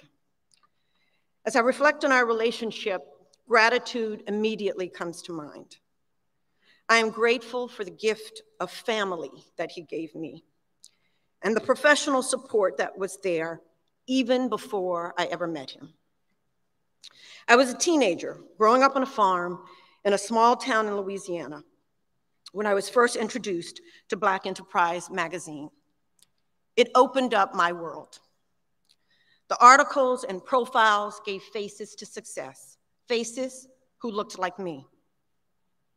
He helped me create a vision of who I wanted to be and what was possible. It is something he did for so many of us over the last 50 plus years. I moved to the East Coast in late 1984 to attend business school, where I met Roberta, who quickly became one of my best friends. And then Butch. In short order, I met Johnny, Michael, and Caroline. And of course, central to this family was Mrs. Graves, who I admired and loved. I remember during graduate school, the first time I was invited to the Graves home. I was so excited. After a lovely dinner, we were all sitting in the family room when Mr. Graves, Mr. Graves proceeded to lay on the floor. No explanation provided. After a few moments, he looked up and said, Hey, you over there, pointing at me, I need my back cracked. Come walk on my back. I, of course, hesitated, not knowing if he was serious. I just met the man. And he gave me that classic Mr. Graves look and said, I'm talking to you. So I walked over, stepped on his back. He was silent for a second and then said, Would you please get on my back? I assured him I was standing on his back. And he turned to look and said, Oh God, you're as light as a feather. We all laughed. And as I started to step off, he said, in all seriousness, Where are you going? Even if I can't feel you there, feel you up there, you always finish the job, so start walking. It was not a traditional way to start a relationship, especially with one of your role models. But it was my first glimpse at the way he communicated with a mix of intention and, if you're lucky, a little jab that told you he cared. Those of us who were fortunate enough to have known him personally saw firsthand the way he defined professionalism and style. There really no, was no one who could put on a suit, shirt, tie, and of course shoes together quite like Mr. Graves. And there are so many others, the millions of readers of Black Enterprise and his peers, no matter race, who he inspired and motivated with his strong entrepreneurial spirit and incredible sense of purpose.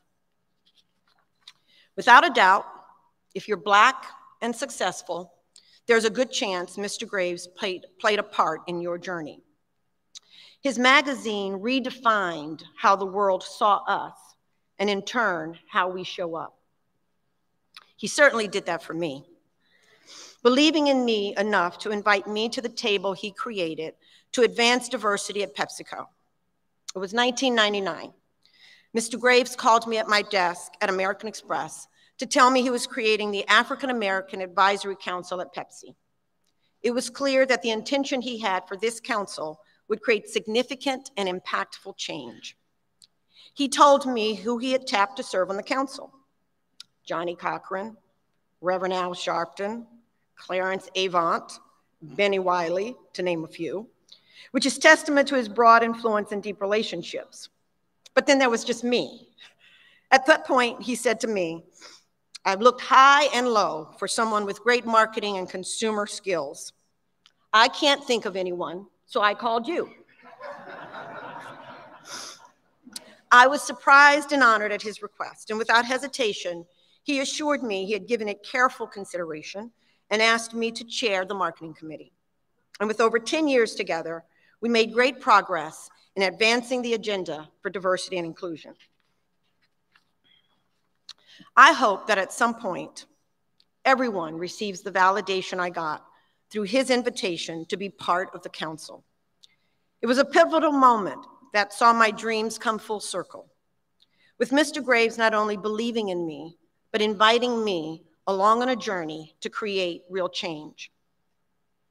I owe a large part of where I am today to the many gifts of mentorship, friendship, and especially the gift of family that he gave me. I am blessed to have him as part of my life, and am blessed to remain a part of his incredible family. I am grateful. May we all continue to be a part of his legacy. Thank you.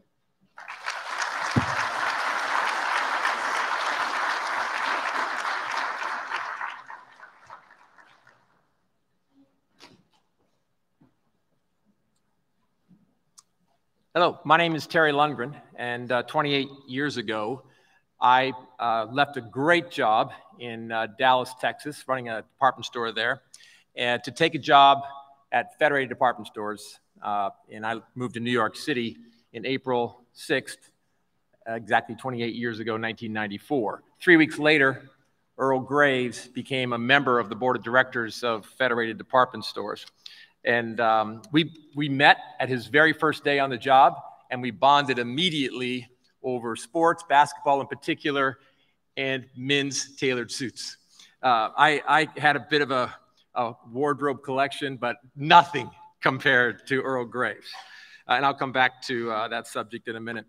Um, at the time he joined the board, uh, he was, in addition to Black Enterprise, he was, he was uh, the CEO of the Pepsi bottling uh, and distribution group in Washington, uh, in the Washington D.C. and perhaps the Baltimore area as well.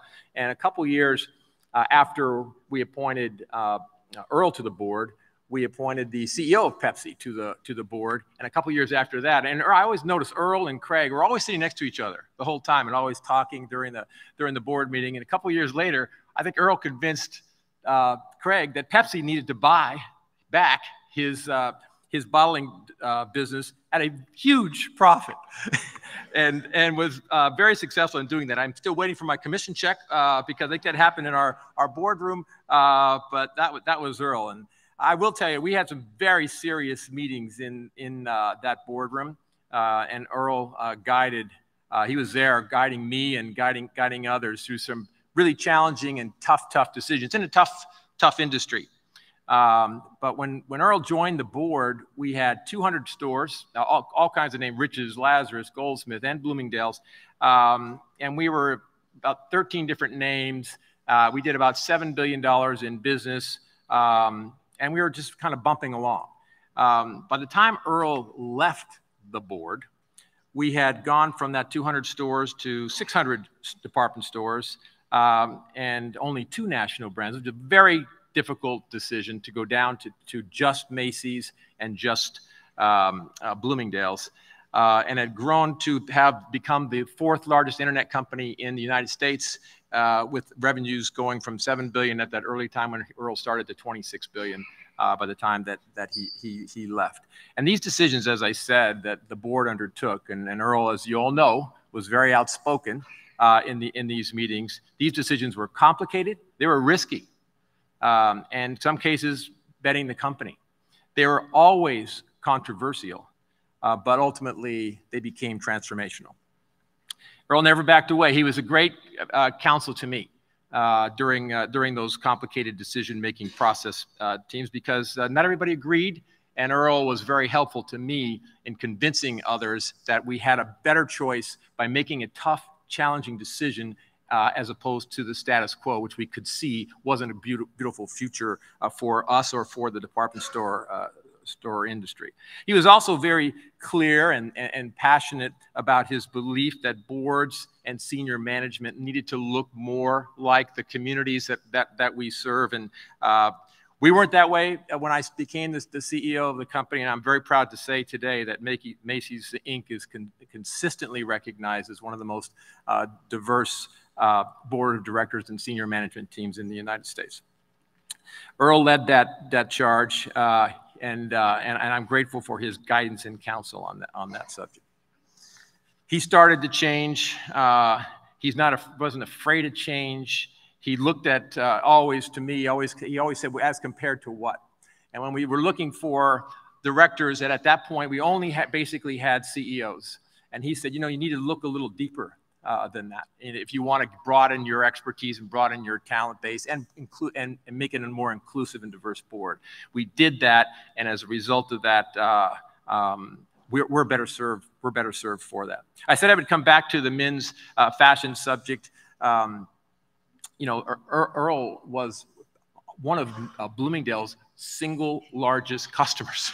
I mean, when he would, when he would walk through the store, I mean, the sales associates would all look up, you know, because they said big big commission day. You know, Earl, Graves is in the store, uh, and um, so one when I when I, I, became the CEO in 2003, in one of the, my first board meetings, I said, you know, we have this thing that's been, been, been on my mind for a while, and that is we give extra benefits or healthcare benefits. We're, we're paying for, for your tax preparation. We're doing, we're doing certain things for, for the top, you know, few executives in the company and the board of directors. And, um, uh, you know, we're, so we're gonna we're gonna take those away and even that out. And then you know the discount we're this small group of people is getting is like 40% off of everything we sell in the store. And so today, I'm going to even all that out. And so the board, you know, basically nodded and nodded their head. And at the, at the break, uh, you know, Earl comes up to me. He said, Terry, it's, very generous what you're doing. I said, what, what do you mean it's generous? And he said, well, you, are giving all your employees 40% discount. I said, no, Earl, no, no. that, that's not what I meant. You and me and the rest of our group are going from 40% down to 20%. And so everybody is going to have the same discount. And he looked at me with this amazement you know, and I, and I didn't know if he was going to just cry or slug me in the stomach uh, that, that Butch so graphically described. Um, so uh, I, I, I, do think he ultimately forgave me because he continued to be our largest or one of our largest uh, cu customers at, at, at Bloomingdale's. Um, and so I just want to say thanks on behalf of all of us who benefited from uh, Earl's uh, wisdom, his mentorship, and, and his gift uh, of time uh, for all that he gave uh, to us to make us better companies and, and better people. Thank you, Earl.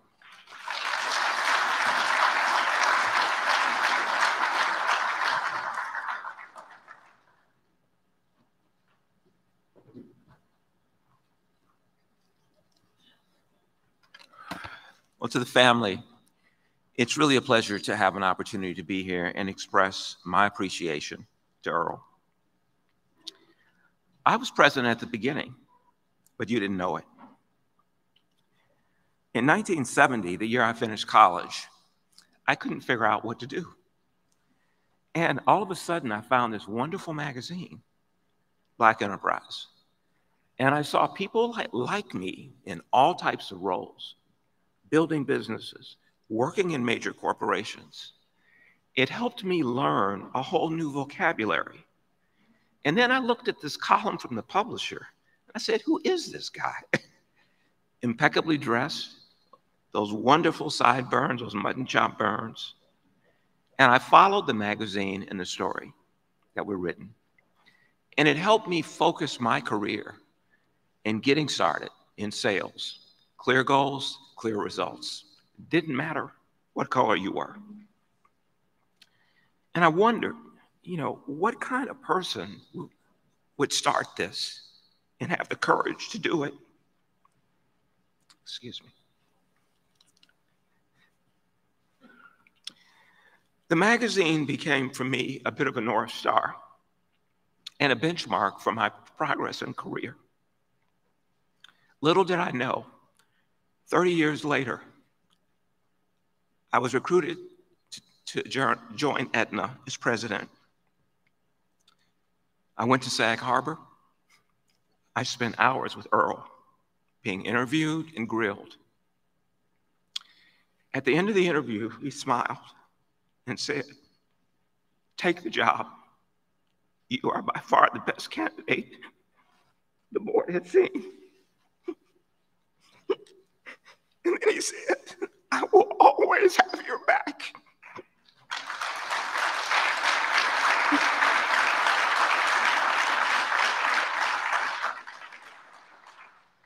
Five years later, I became chairman and CEO of Aetna. And I know how often he spoke in the boardroom on my behalf.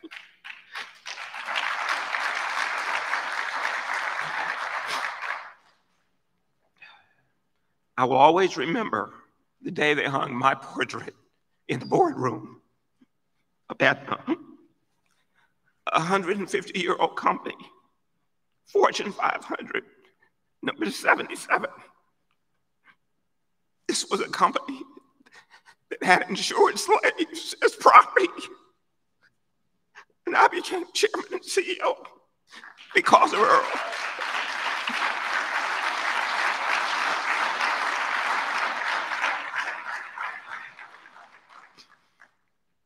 I always remember when I joined boards, Earl sat me down and he told me, Remember, you are not on that board because there was a shortage of blonde hair, blue eyes, and BAs. you were selected because you are well qualified, you bring a unique point of view, and you can help them open new markets and make the business more successful. And then he said, always, always be a strong voice in the boardroom for people of color. Make sure the company's employment, its development, its spending are reflective of all the customers it serves.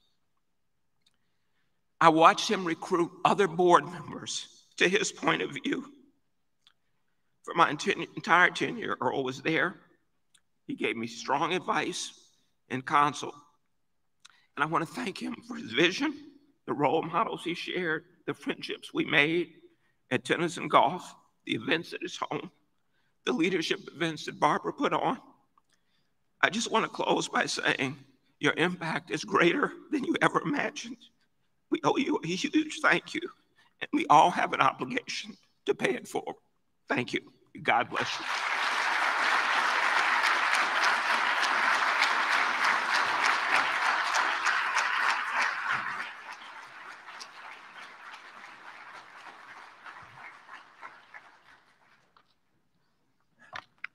Good afternoon. My name is Chris Womack and Johnny Butch. Uh, guys, thanks for this opportunity. I could very easily just say ditto because we all have so many similar stories and so many similar words, but I think it's a true honor and reflection of who Earl Graves was to so many of us that we have so many similar remarks to say about him. But let me um, let me go through my, my comments. Just like the case with so many of you, as you have heard, Earl was, was my friend. He talked to me, I listened to him. He advised me, he gave me feedback, he hugged me, he challenged me. When I was with him, he inspired me and gave me hope and optimism that I really didn't know existed.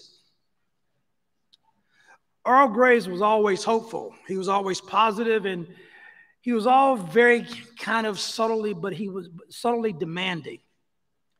He was friendly and gregarious, so gracious and kind. Earl welcomed me as a friend, even though there were a few decades differences in our ages. He had graduated from Morgan State in 1958, the same year that I was born, and him being from New York and me being from rural South Alabama.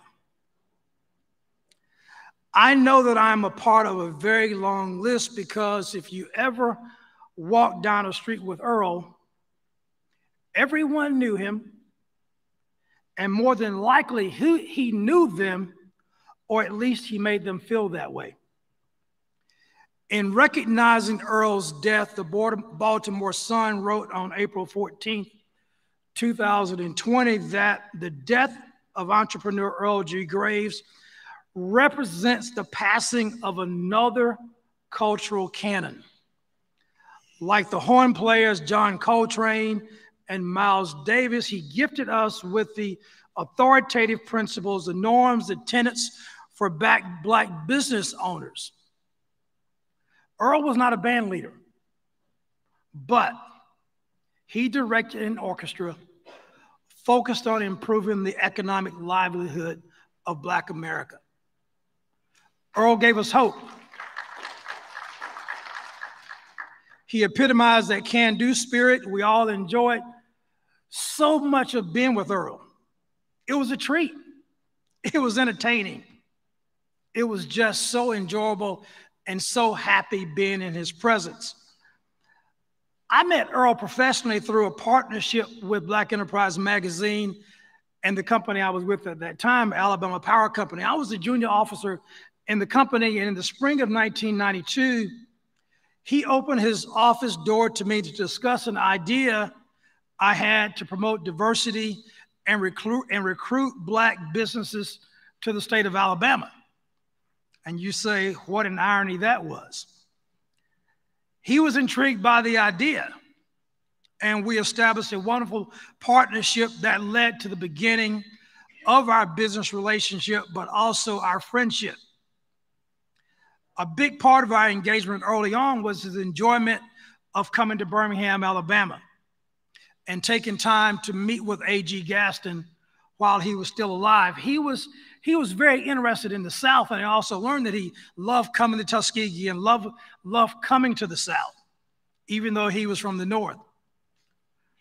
But he truly admired Dr. Gaston and his business acumen and his accomplishments, and he learned so much, as he told me, from Dr. Gaston. And he even wrote in his book, How to Succeed in Business Without Being White, that no library of American business achievement is complete without the story of Arthur G. Gaston, a black titan who is, is long overdue contributions to the recording of not just black history, but American history.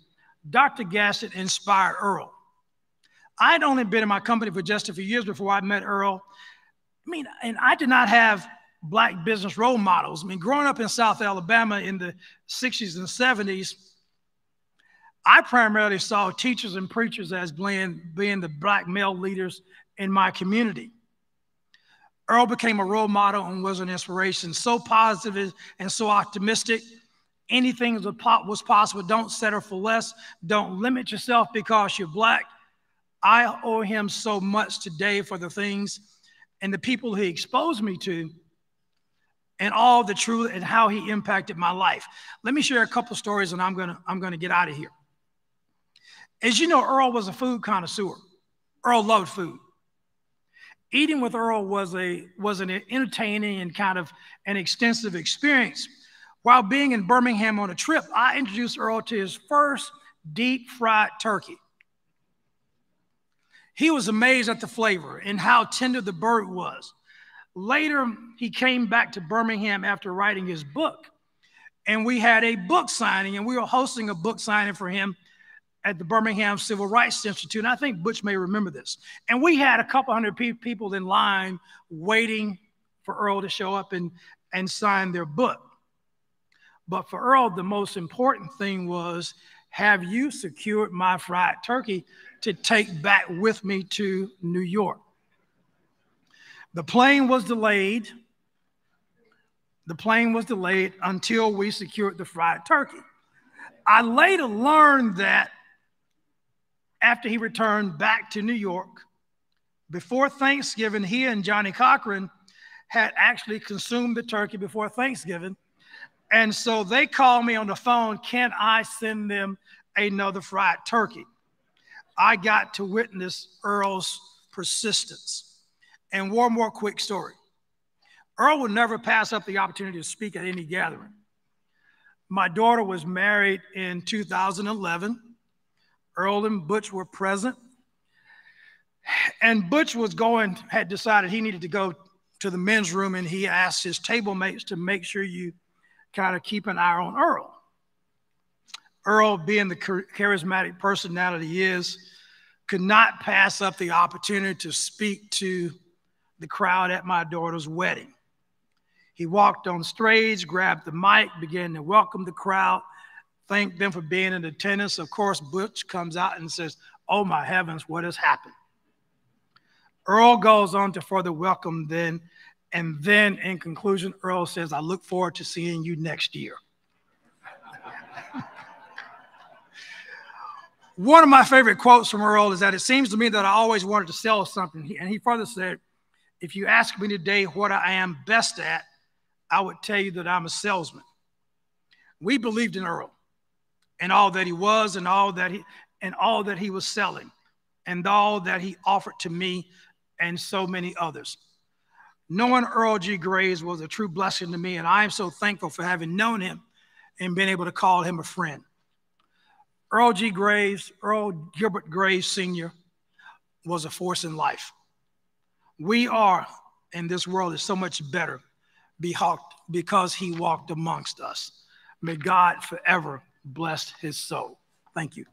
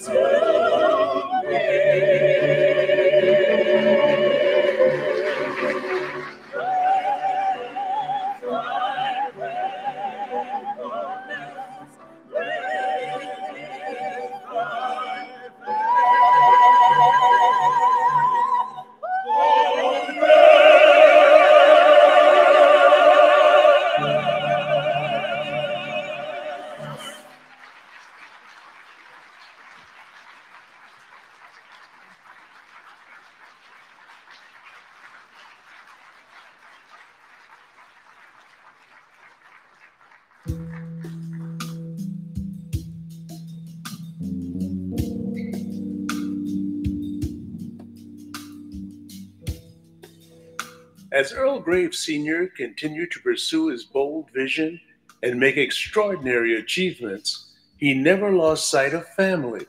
It became even more important as he started his own with the love of his life. Married for nearly 52 years, Earl and Barbara would develop the magazine into a business success and a voice for Black America, as well as position it as a family enterprise. He envisioned that his enduring legacy of values and practices would be passed down to his sons and eight grandchildren, and a model for generational wealth that could be embraced and followed by the Black community. Under his leadership, Black Enterprise would expand to become a diversified business empire with TV, radio, digital media, events, private equity, and more.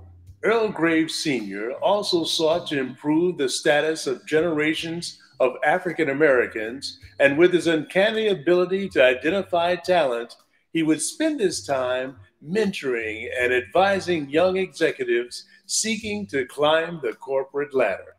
He said, Young man, aim high because I'm going to see some of your senior people, and I'd like to see some people like you in the years to come.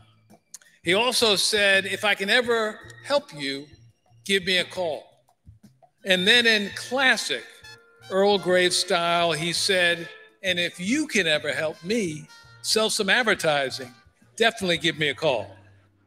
I would describe the legacy that Earl Graves left um, and built as one, first and foremost, about excellence. Earl was always about showing up, being prepared, and demonstrating that we were more than worthy. So he was not about half stepping, he was not about not being prepared. You had to be prepared. And that sense of excellence will stay with me forever what Earl Graves taught us and where the inspiration of Earl Graves resides is in his leading us to have the conviction and the courage to say that that we too could participate. And not only participate but to lead in the world of business. If i have a lifelong lesson uh, from earl it is always to make sure our voices are heard that you are that you have a seat at the table and that you become an advocate uh, for those you represent.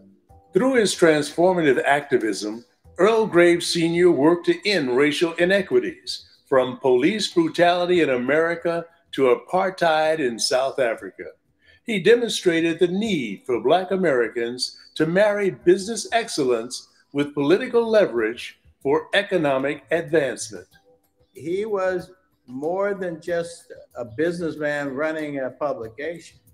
He was a force for what is needed to what I believe to be is to create black economic empowerment, black wealth, and to strengthen black politics to do what is in the long-term best interest of black Americans.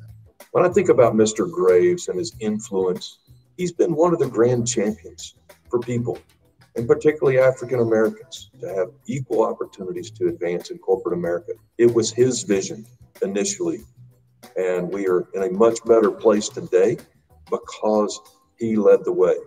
He was intentional with his time, energy, and philanthropy, including efforts to improve lives with Habitat for Humanity, teach values with the Boy Scouts, and bolster educational opportunities through HBCUs. It gives me a great pride to announce a pledge. In 1995, he pledged $1 million to his beloved alma mater, Morgan State, which now boasts the Earl G. Graves School of Business and Management. He was a pioneer on corporate boards. His work was recognized with more than 50 honorary degrees and awards, including the Boy Scouts Silver Buffalo and the NAACP's Spingarn Medal. And his spirit lives on across the BE Empire and beyond, inspiring successive generations to promote Black excellence, leadership, and financial empowerment. Mr. Graves' legacy groundbreaker, fierce, funny, human, empathetic, and take no prisoners. So we have this sort of North Star to look to with Mr. Graves. You know, he had this wonderful sense of presence. He owned his space. He was courageous in his space. He was unapologetically Black. He was unapologetic about advancing Blacks in corporate America and building wealth I think all of us are um, legacies of Mr. Graves because without him, without the impact of Black enterprise and all he did beyond Black enterprise as a leader in the country, without him, there would be few opportunities for people like me. And so I am just reminded every day that, uh, you know, we owe him a great deal of gratitude. When we think about the giants um, in media, I'm not talking about black media, but I'm talking about the giants in American media, Earl Graves Sr.'s name uh, will be on that list.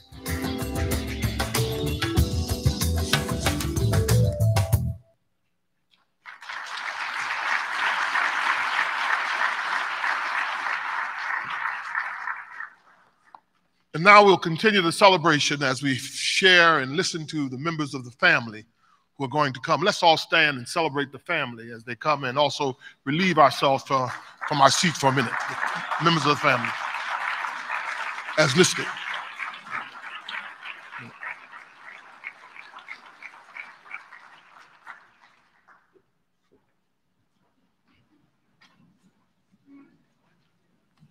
Thank you for joining.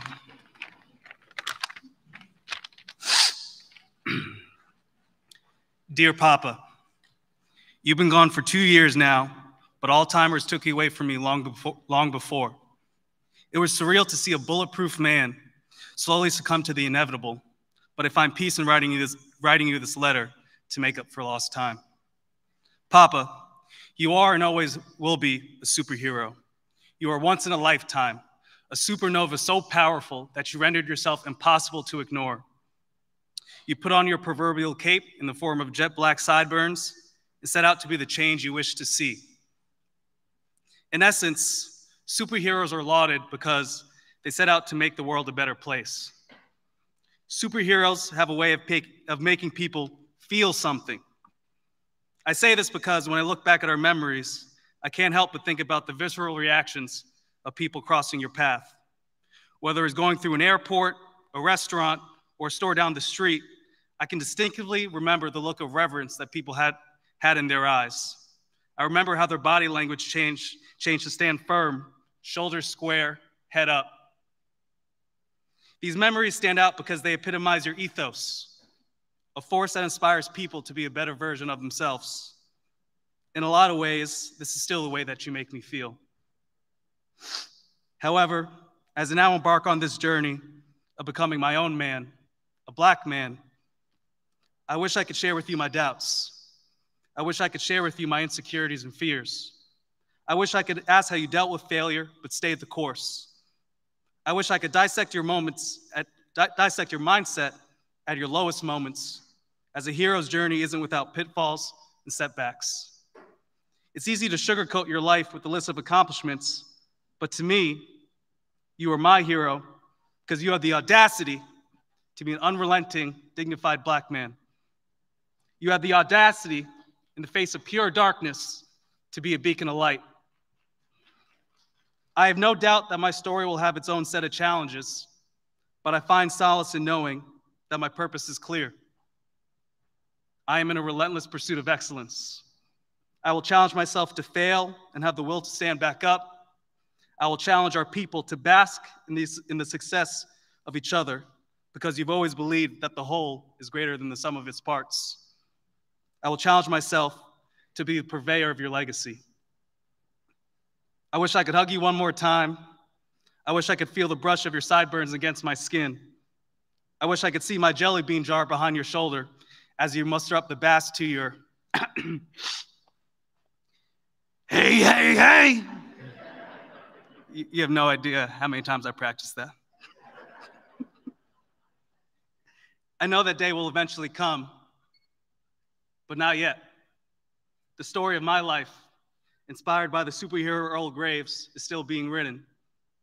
In the meantime, give Graham a kiss for me. My story has just begun.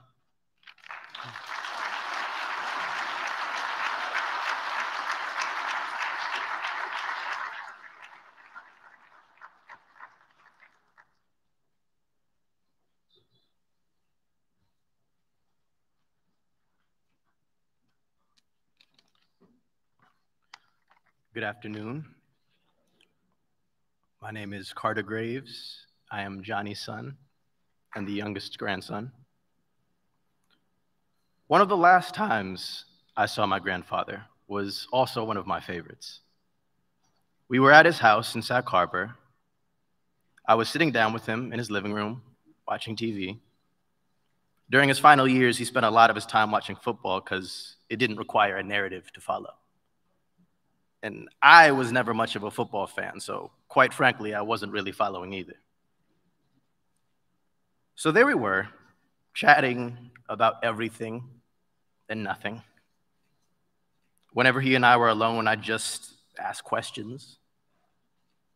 I'd asked him about his meeting my grandmother, jumping out of airplanes as a paratrooper, witnessing all the big historical moments he was present for.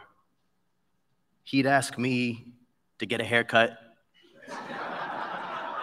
nearly every time I saw him. and when he was talked out, which at that point didn't take long, I just threw my arm around his shoulder to remind him I was there.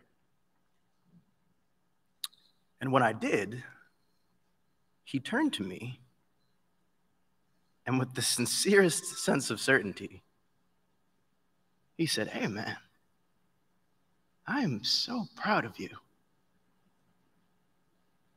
Honestly, I wasn't sure what to say.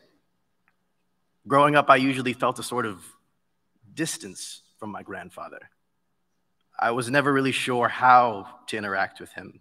Maybe I was intimidated. Like looking up at a giant, maybe sometimes I'd have to look so high up that the distance was just overwhelming. Maybe I had to grow in order to truly see him. But oddly enough, at this stage of his life, where his memories were fading away, I never felt closer. When his days were no longer consumed by all the titles, the power, the glory, even the sideburns were gone. What was underneath was far purer than any of that. At a time in his life when he was no longer present on the world stage, what he became in the quietest of moments was ever more present to me. Instead of being Earl Graves, the legend, he was simply my grandfather, my old man. And as impressed as I was by everything else that he was, that was really all I ever needed him to be. But when he told me he was proud of me, I couldn't help but be skeptical. Did he even know he was speaking to me? Did he think he was talking to my dad or Gibby or Teddy? At that point, he couldn't tell me what year it was or which team was winning the game on the screen right in front of us. So proud of me. I wondered. But I later realized I was missing the point completely. It wasn't about what he did or didn't remember. He knew I came from him. Whether it was me or my dad or any of my cousins, he knew we all came from him.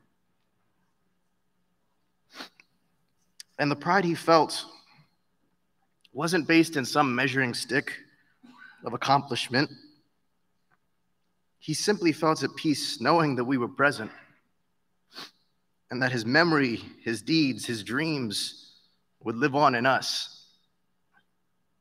I think in the end, that was all he ever needed us to be.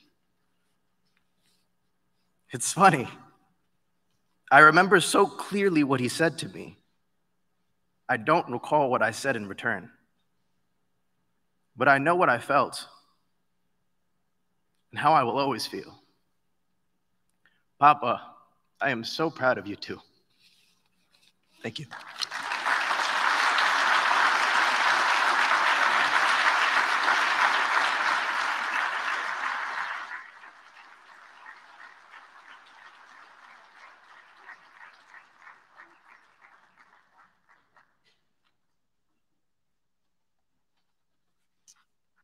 Okay, so if you're following along the program and can keep track of the eight of us, I am not Kelly.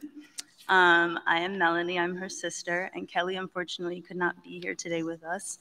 Um, but I'm going to read her words, and I really hope to do them justice because I know she is exacting like our grandparents and would want me to do my absolute best. Um, and we've been through a lot together, and I really do miss her today.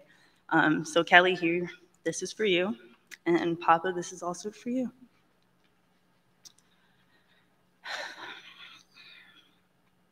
How could a man who's lived such a wonderful life be plagued by the disease that takes these very memories of wonder away? My papa was a first generation American and first gen college student who hustled to put himself through higher education here at this university. He relied on his work ethic and ambition to push him through college and all of his endeavors. After college, he served his country as a Green Beret. Their motto is De oppresso liber, or to free the oppressed. And I think this is fitting. My grandfather always brainstormed ways to better serve the Black community, whether it be through financial resources and business advice with the magazine, or through hosting ski summits and annual events that Black Enterprise became known for, which allowed attendees to gain insights across fields they would otherwise be underrepresented in, as well as come together as a community. When my papa passed, as I worked through the grief, there is one question that dominated my mind. How could all of this fit into one man's life story? Over 70 honorary degrees, working alongside Bobby Kennedy, and meeting presidents from Barack Obama to Jimmy Carter to Nelson Mandela, serving on countless boards, and of course, the launch of an iconic magazine that gained the readership of millions and became a household name. And through my awe of his accomplishments, combined with my immense gratitude for the life he provided my family through his success, the core question that permeated through my mind was how can I make Papa proud in this life? Papa believed in providing the tools for Black Americans to succeed in business mainstream and achieve their measure of the American dream. So I lead, my sister, a minority owned investment fund working toward empowering students with financial literacy at Cornell University. Papa said that excelling in business goes hand in hand with excelling at creating opportunities for others. So I, Kelly, founded a business ethics club that works to provide resume reviews, interview preparation, free professional clothing, and other professional development tools that students can use to make the most of their career opportunities. And if you continue to dissect every facet of my life, I'm sure that the outcome would reveal continued parallels between Papa's words and my actions. But I never sat in a board meeting with Papa. I never asked for personal business advice. I never went to a prospective partner with him or anything of that nature. So while his business acumen remains unmatched, it is his core character that inspires me the most. And that is the focus I would like us all to have today. The root of all these actions, these pivotal career moments in my papa's life, was his kind heart. He loved his family more than anyone could and was the definition of being community oriented. And while I focus intently on his accomplishments after his passing, my fundamental realization was this. Growing up, it took me years to understand who my grandfather really was or how he worked for years to provide us, his family, with countless opportunities. For me, many years, for many years, he was just my papa.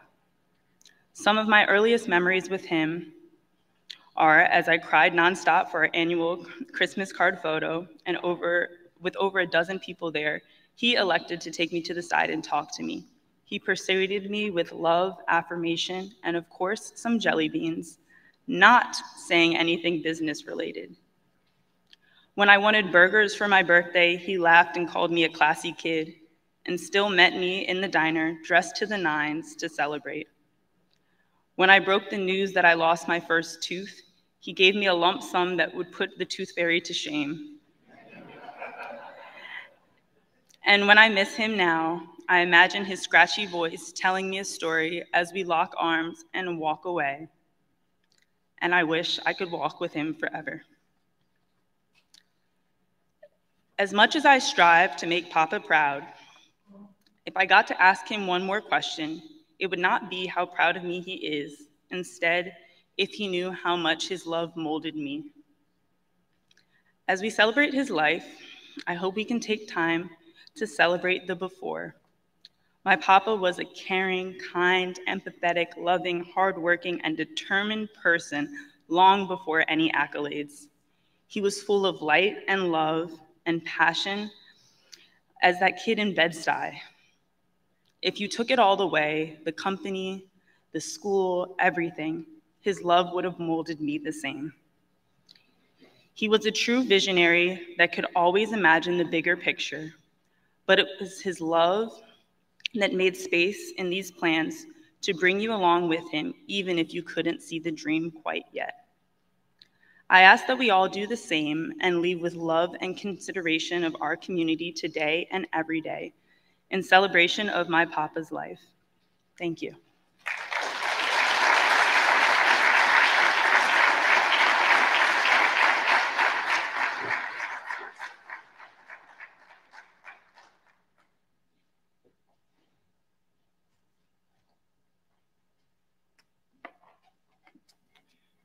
Hi, I'm Johnny Graves, and um, I'm acutely aware that I'm the only speaker standing between you and lunch. So we'll try to keep try to keep moving. Um, I know many of you received the uh, the invitation to today, and it said that the service would be from one to three o'clock. This is obviously your first black funeral. Our standard is our standard is to keep this below the Aretha Franklin line. I think we're going to do that. Um, my dad was a great storyteller.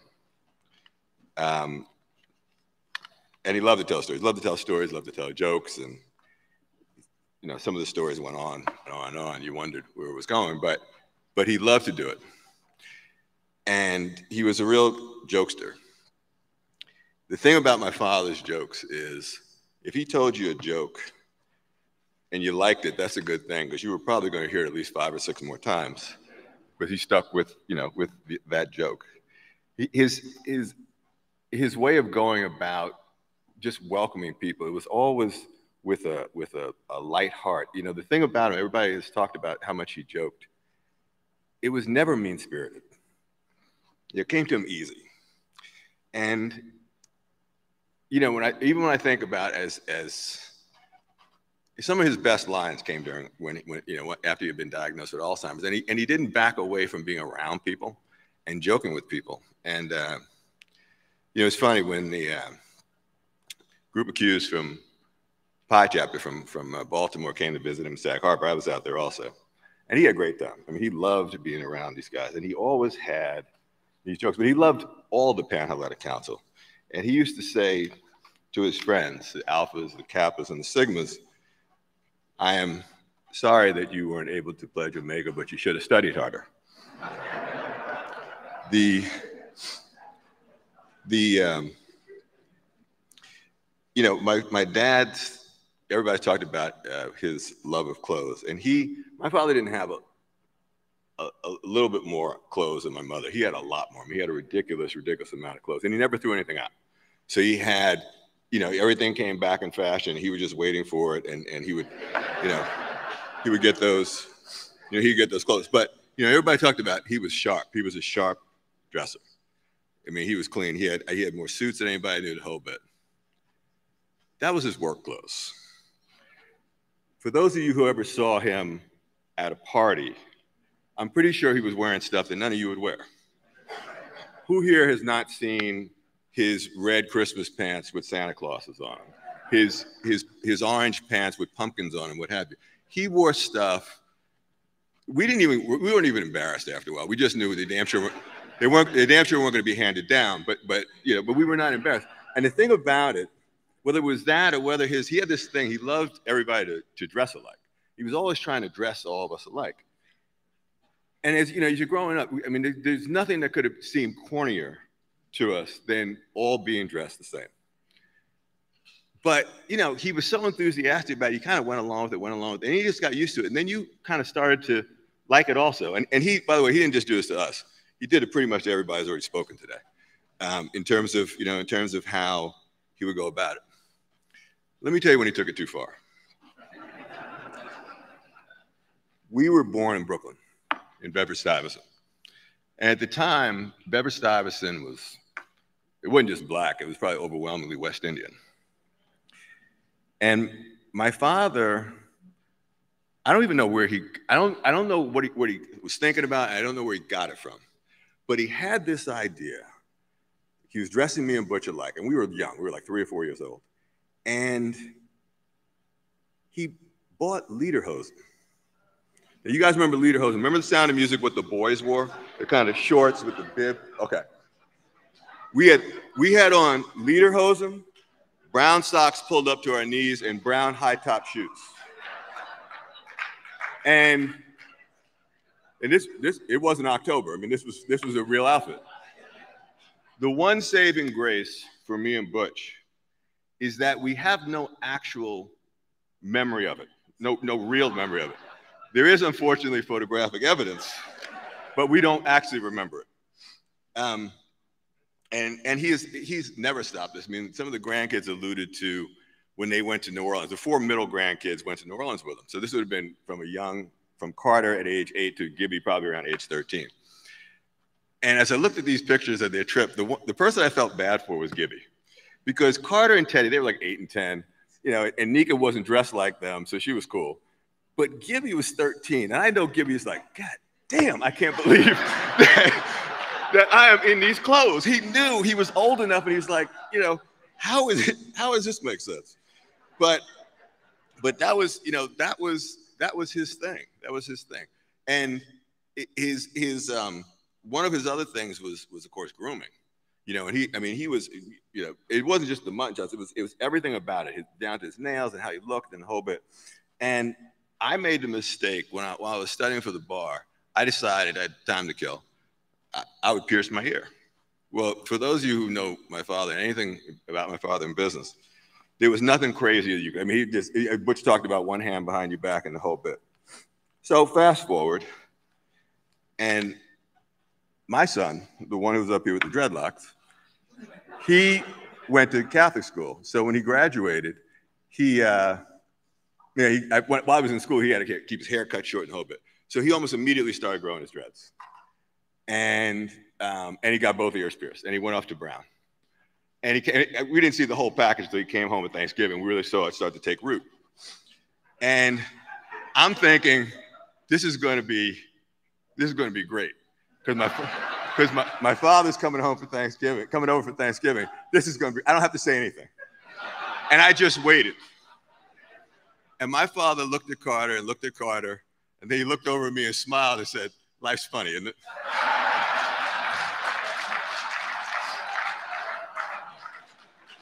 The uh, Butch talked about this work ethic that my father was going to, he was going to drill it into us. He was going to force it on us. We were going to do this. And before we had the leaf blowers and stuff like that that Butch talked about, we had, we had rakes. We were out there with rakes, right? And the whole thing was you had to work all day Saturday to go out Saturday night. You had to work all day Sunday to go out the following Friday. Okay, unless you had a, unless you had a game that was that you had to do that. But one day we were out there and I guess we weren't doing it fast enough and it was starting to get dark or whatever. It wasn't dark, but you know, he, my father decided he was going to come out and work with us. And this guy's car broke down right in front of his house. And the guy walks up, the, the four of us are standing there. The guy walks up and he says, My car broke down. Is anybody home? Can I possibly use the phone? Well, my father didn't hear him. So we went in the house with the guy. And one of us said to him what the guy had said. And my father got so pissed, he went off. This is my house. He's yelling at the guy, the whole bit. And the guy finally leaves. And my brother Michael said to him, You know, Dad, with all due respect, how many people, if you drove past somebody's house, how many people in Scarsdale you think are raking their own, their own leaves? So it was, you know, it was, and he had to laugh at it because he realized they didn't, they mistook him for the gardener because he was gardening, you know? So, um, but you know, it's the other thing, and it's I'm, really surprised that none of his none of the friends who are business associates, but also friends, didn't really touch on this. Let's be clear. My father did not just put his sons to work. There is no friend sitting here who came over for dinner. My hand, ask any of them later. Ray Robinson, you ever go, go you, did you ever get the, the, uh, the wood for, for the thing? I mean, it, it, everybody, you had to go get wood. You, he would put you to work on some part of his house because you were a guest. But if you were a guest and he was going to feed you, well, of course you, you'd want to help out and, you know, and do whatever it was. And, and they, it would be crazy. It, it got so bad that I, I was playing basketball one time in the driveway with two guys who I went to high school with. And he called us in and he said, "Yo, John, you start getting the wood. And, and the other two guys, he said, you guys stay here. I go to get the wood, I come back, and I'm like, what are you guys doing, right? One of them is cutting up, it isn't the guy. One of them's cutting up tomatoes, the other one is shredding lettuce. He told them he had friends coming over that night, they needed to make the salad. And they're looking at me with this plea on their face. And the one thing, Butch and I were joking about this before, because the one thing that really started to happen, when we invite, we invite guys over and say, hey, you know, why don't you come over and play ball? And they always ask the same thing. Is your dad home? And if the answer was yes, they said, well, why, why don't you come over here? Yeah. Um, one of, we each got certain tasks that we were given. Um, and, you know, it became your thing. So it was, the raking was all of us, but, you know, so my thing, my bedroom was the closest to my parents' bedroom. My father used to get up at six o'clock in the morning and he would come in, he'd wake me up and he would always say to me, this is how is euphemism. He would say, "Hey man, uh, you you get up? I just need just need you to throw a little water on the car." That was his way of saying, "I want you to wash my car." And this was year round. The only difference was in the winter I could do it inside the garage, otherwise I did it outside. But year round, it used to piss me off. And I'm sitting there thinking, Butch's room is right right upstairs. Michael's right next door. He always came to me. So one morning he came in. He said, "Hey man, I want you to throw a little water in my car." And I took that as a challenge. So I went and got a bucket of water, and I threw a bucket of water in his car and got back in bed. Eh, He didn't punch me in the chest. He actually grabbed me by the ankles and pulled me, and this my, uh, my head hit the floor. But I thought, you know, I was trying to take this a little too literally, and he thought that that uh, he was going to beat the, the uh, smart ass out of me, and he did. Um, the uh, one of the things, you know, folks have kind of, some people have mentioned it, other folks have not said as much about it, but the thing about when my dad had Alzheimer's was that he really never lost his sense of humor.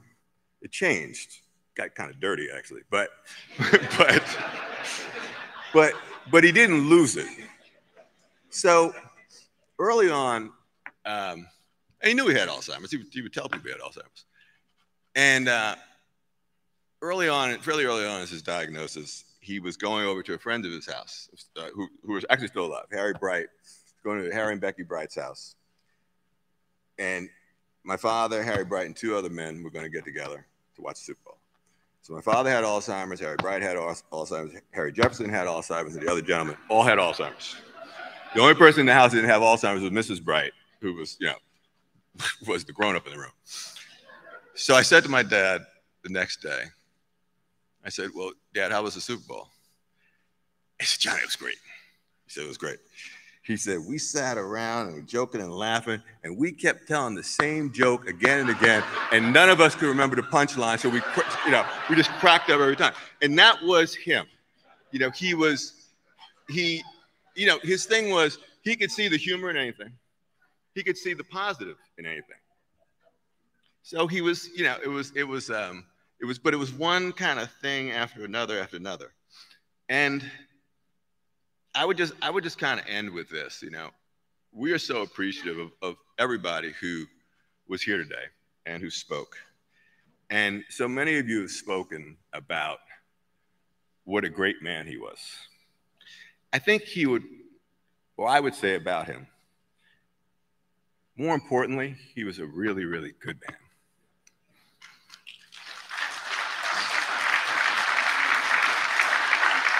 So,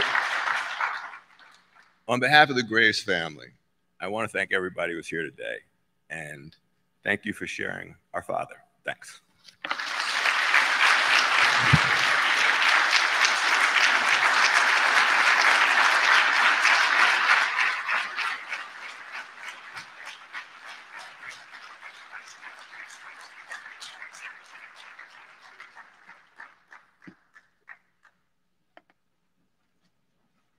Thank God for this powerful opportunity to revisit the footsteps of Earl Graves.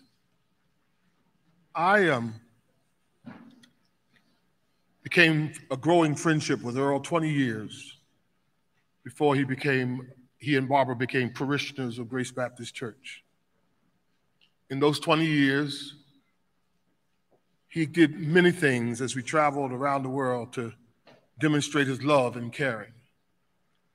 But I noticed something that he kind of held off on the cuff in that journey, and that was that he was a man of faith. He was a man whose life was grounded in the knowledge of a supreme being. He believed in God. He grew up as an Episcopalian and he functioned as a person of faith. Much of what you hear today, much of the stories are told of his kindness and his love and his willingness to embrace grew out of his sense of faith, his sense of being a, a disciple. His, his goodwill is born of that notion of faith. There's a line in the Markan gospel that says, What does it profit a man to gain the whole world and lose his soul? The text is really talking about there is a dichotomy in our humanity. And that dichotomy is that we are tangible and intangible, that we are physical and spiritual.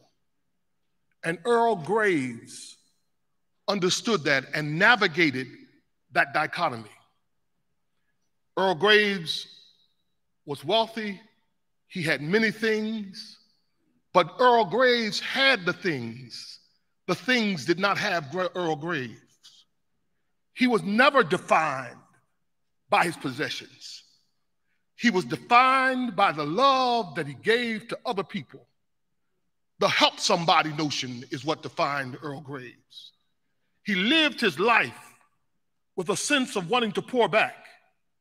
He functioned in that dichotomy even as he, on one hand, he was a great patriot of America serving in the army, and on the other hand, he was a relentless critic of the presence of racism in the world. Earl Graves was a man who did not lose his soul in the quake of his possessions. Earl Graves loved people, but Earl Graves had a sense of relationship with God that I knew and observed for more than 25 years. It was not formal. Yes, he came to church, but it was a kind of subtle operative in his life that caused him to care about the schools, to care about this institution, to care about the advancement of African American people. It, is a, it was a function of his own religion that caused him to be so powerful and so relentless. And it was a privilege to have him as a friend and ultimately a parishioner. And I know that the lives of many people are better because a man who didn't wear his religion on his cuff, but wore his religion in his relationships and is a pursuit to lift up other people. The world is a better place. Earl had the tangible, but he also had an, an otherness. And the otherness is the soul. He wasn't just all physical, he wasn't just possessions, but he had an otherness, and he was in touch with the otherness that he was. And that otherness caused him to live out his life as a functioning person of faith and, and kept his hope alive in the dark hours of his life. He was grounded, as has been said here today, in his love for family, in his faith, and in his character, and his relentless pursuit to see African Americans achieve their proper place in the American dream.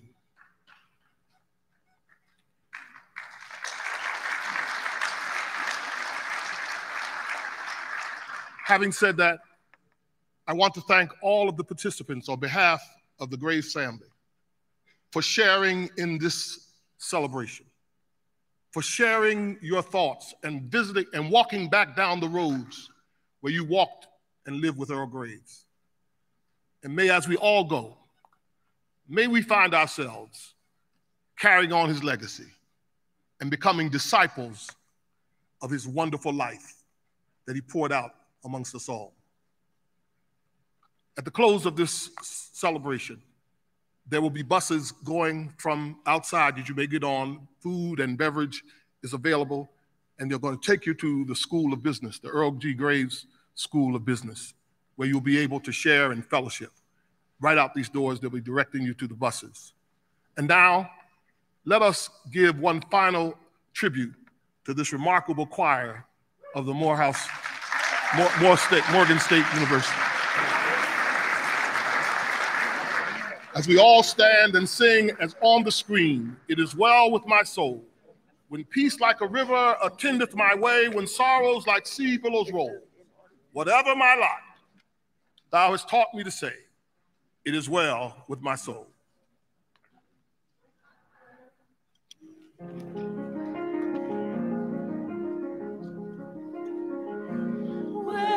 When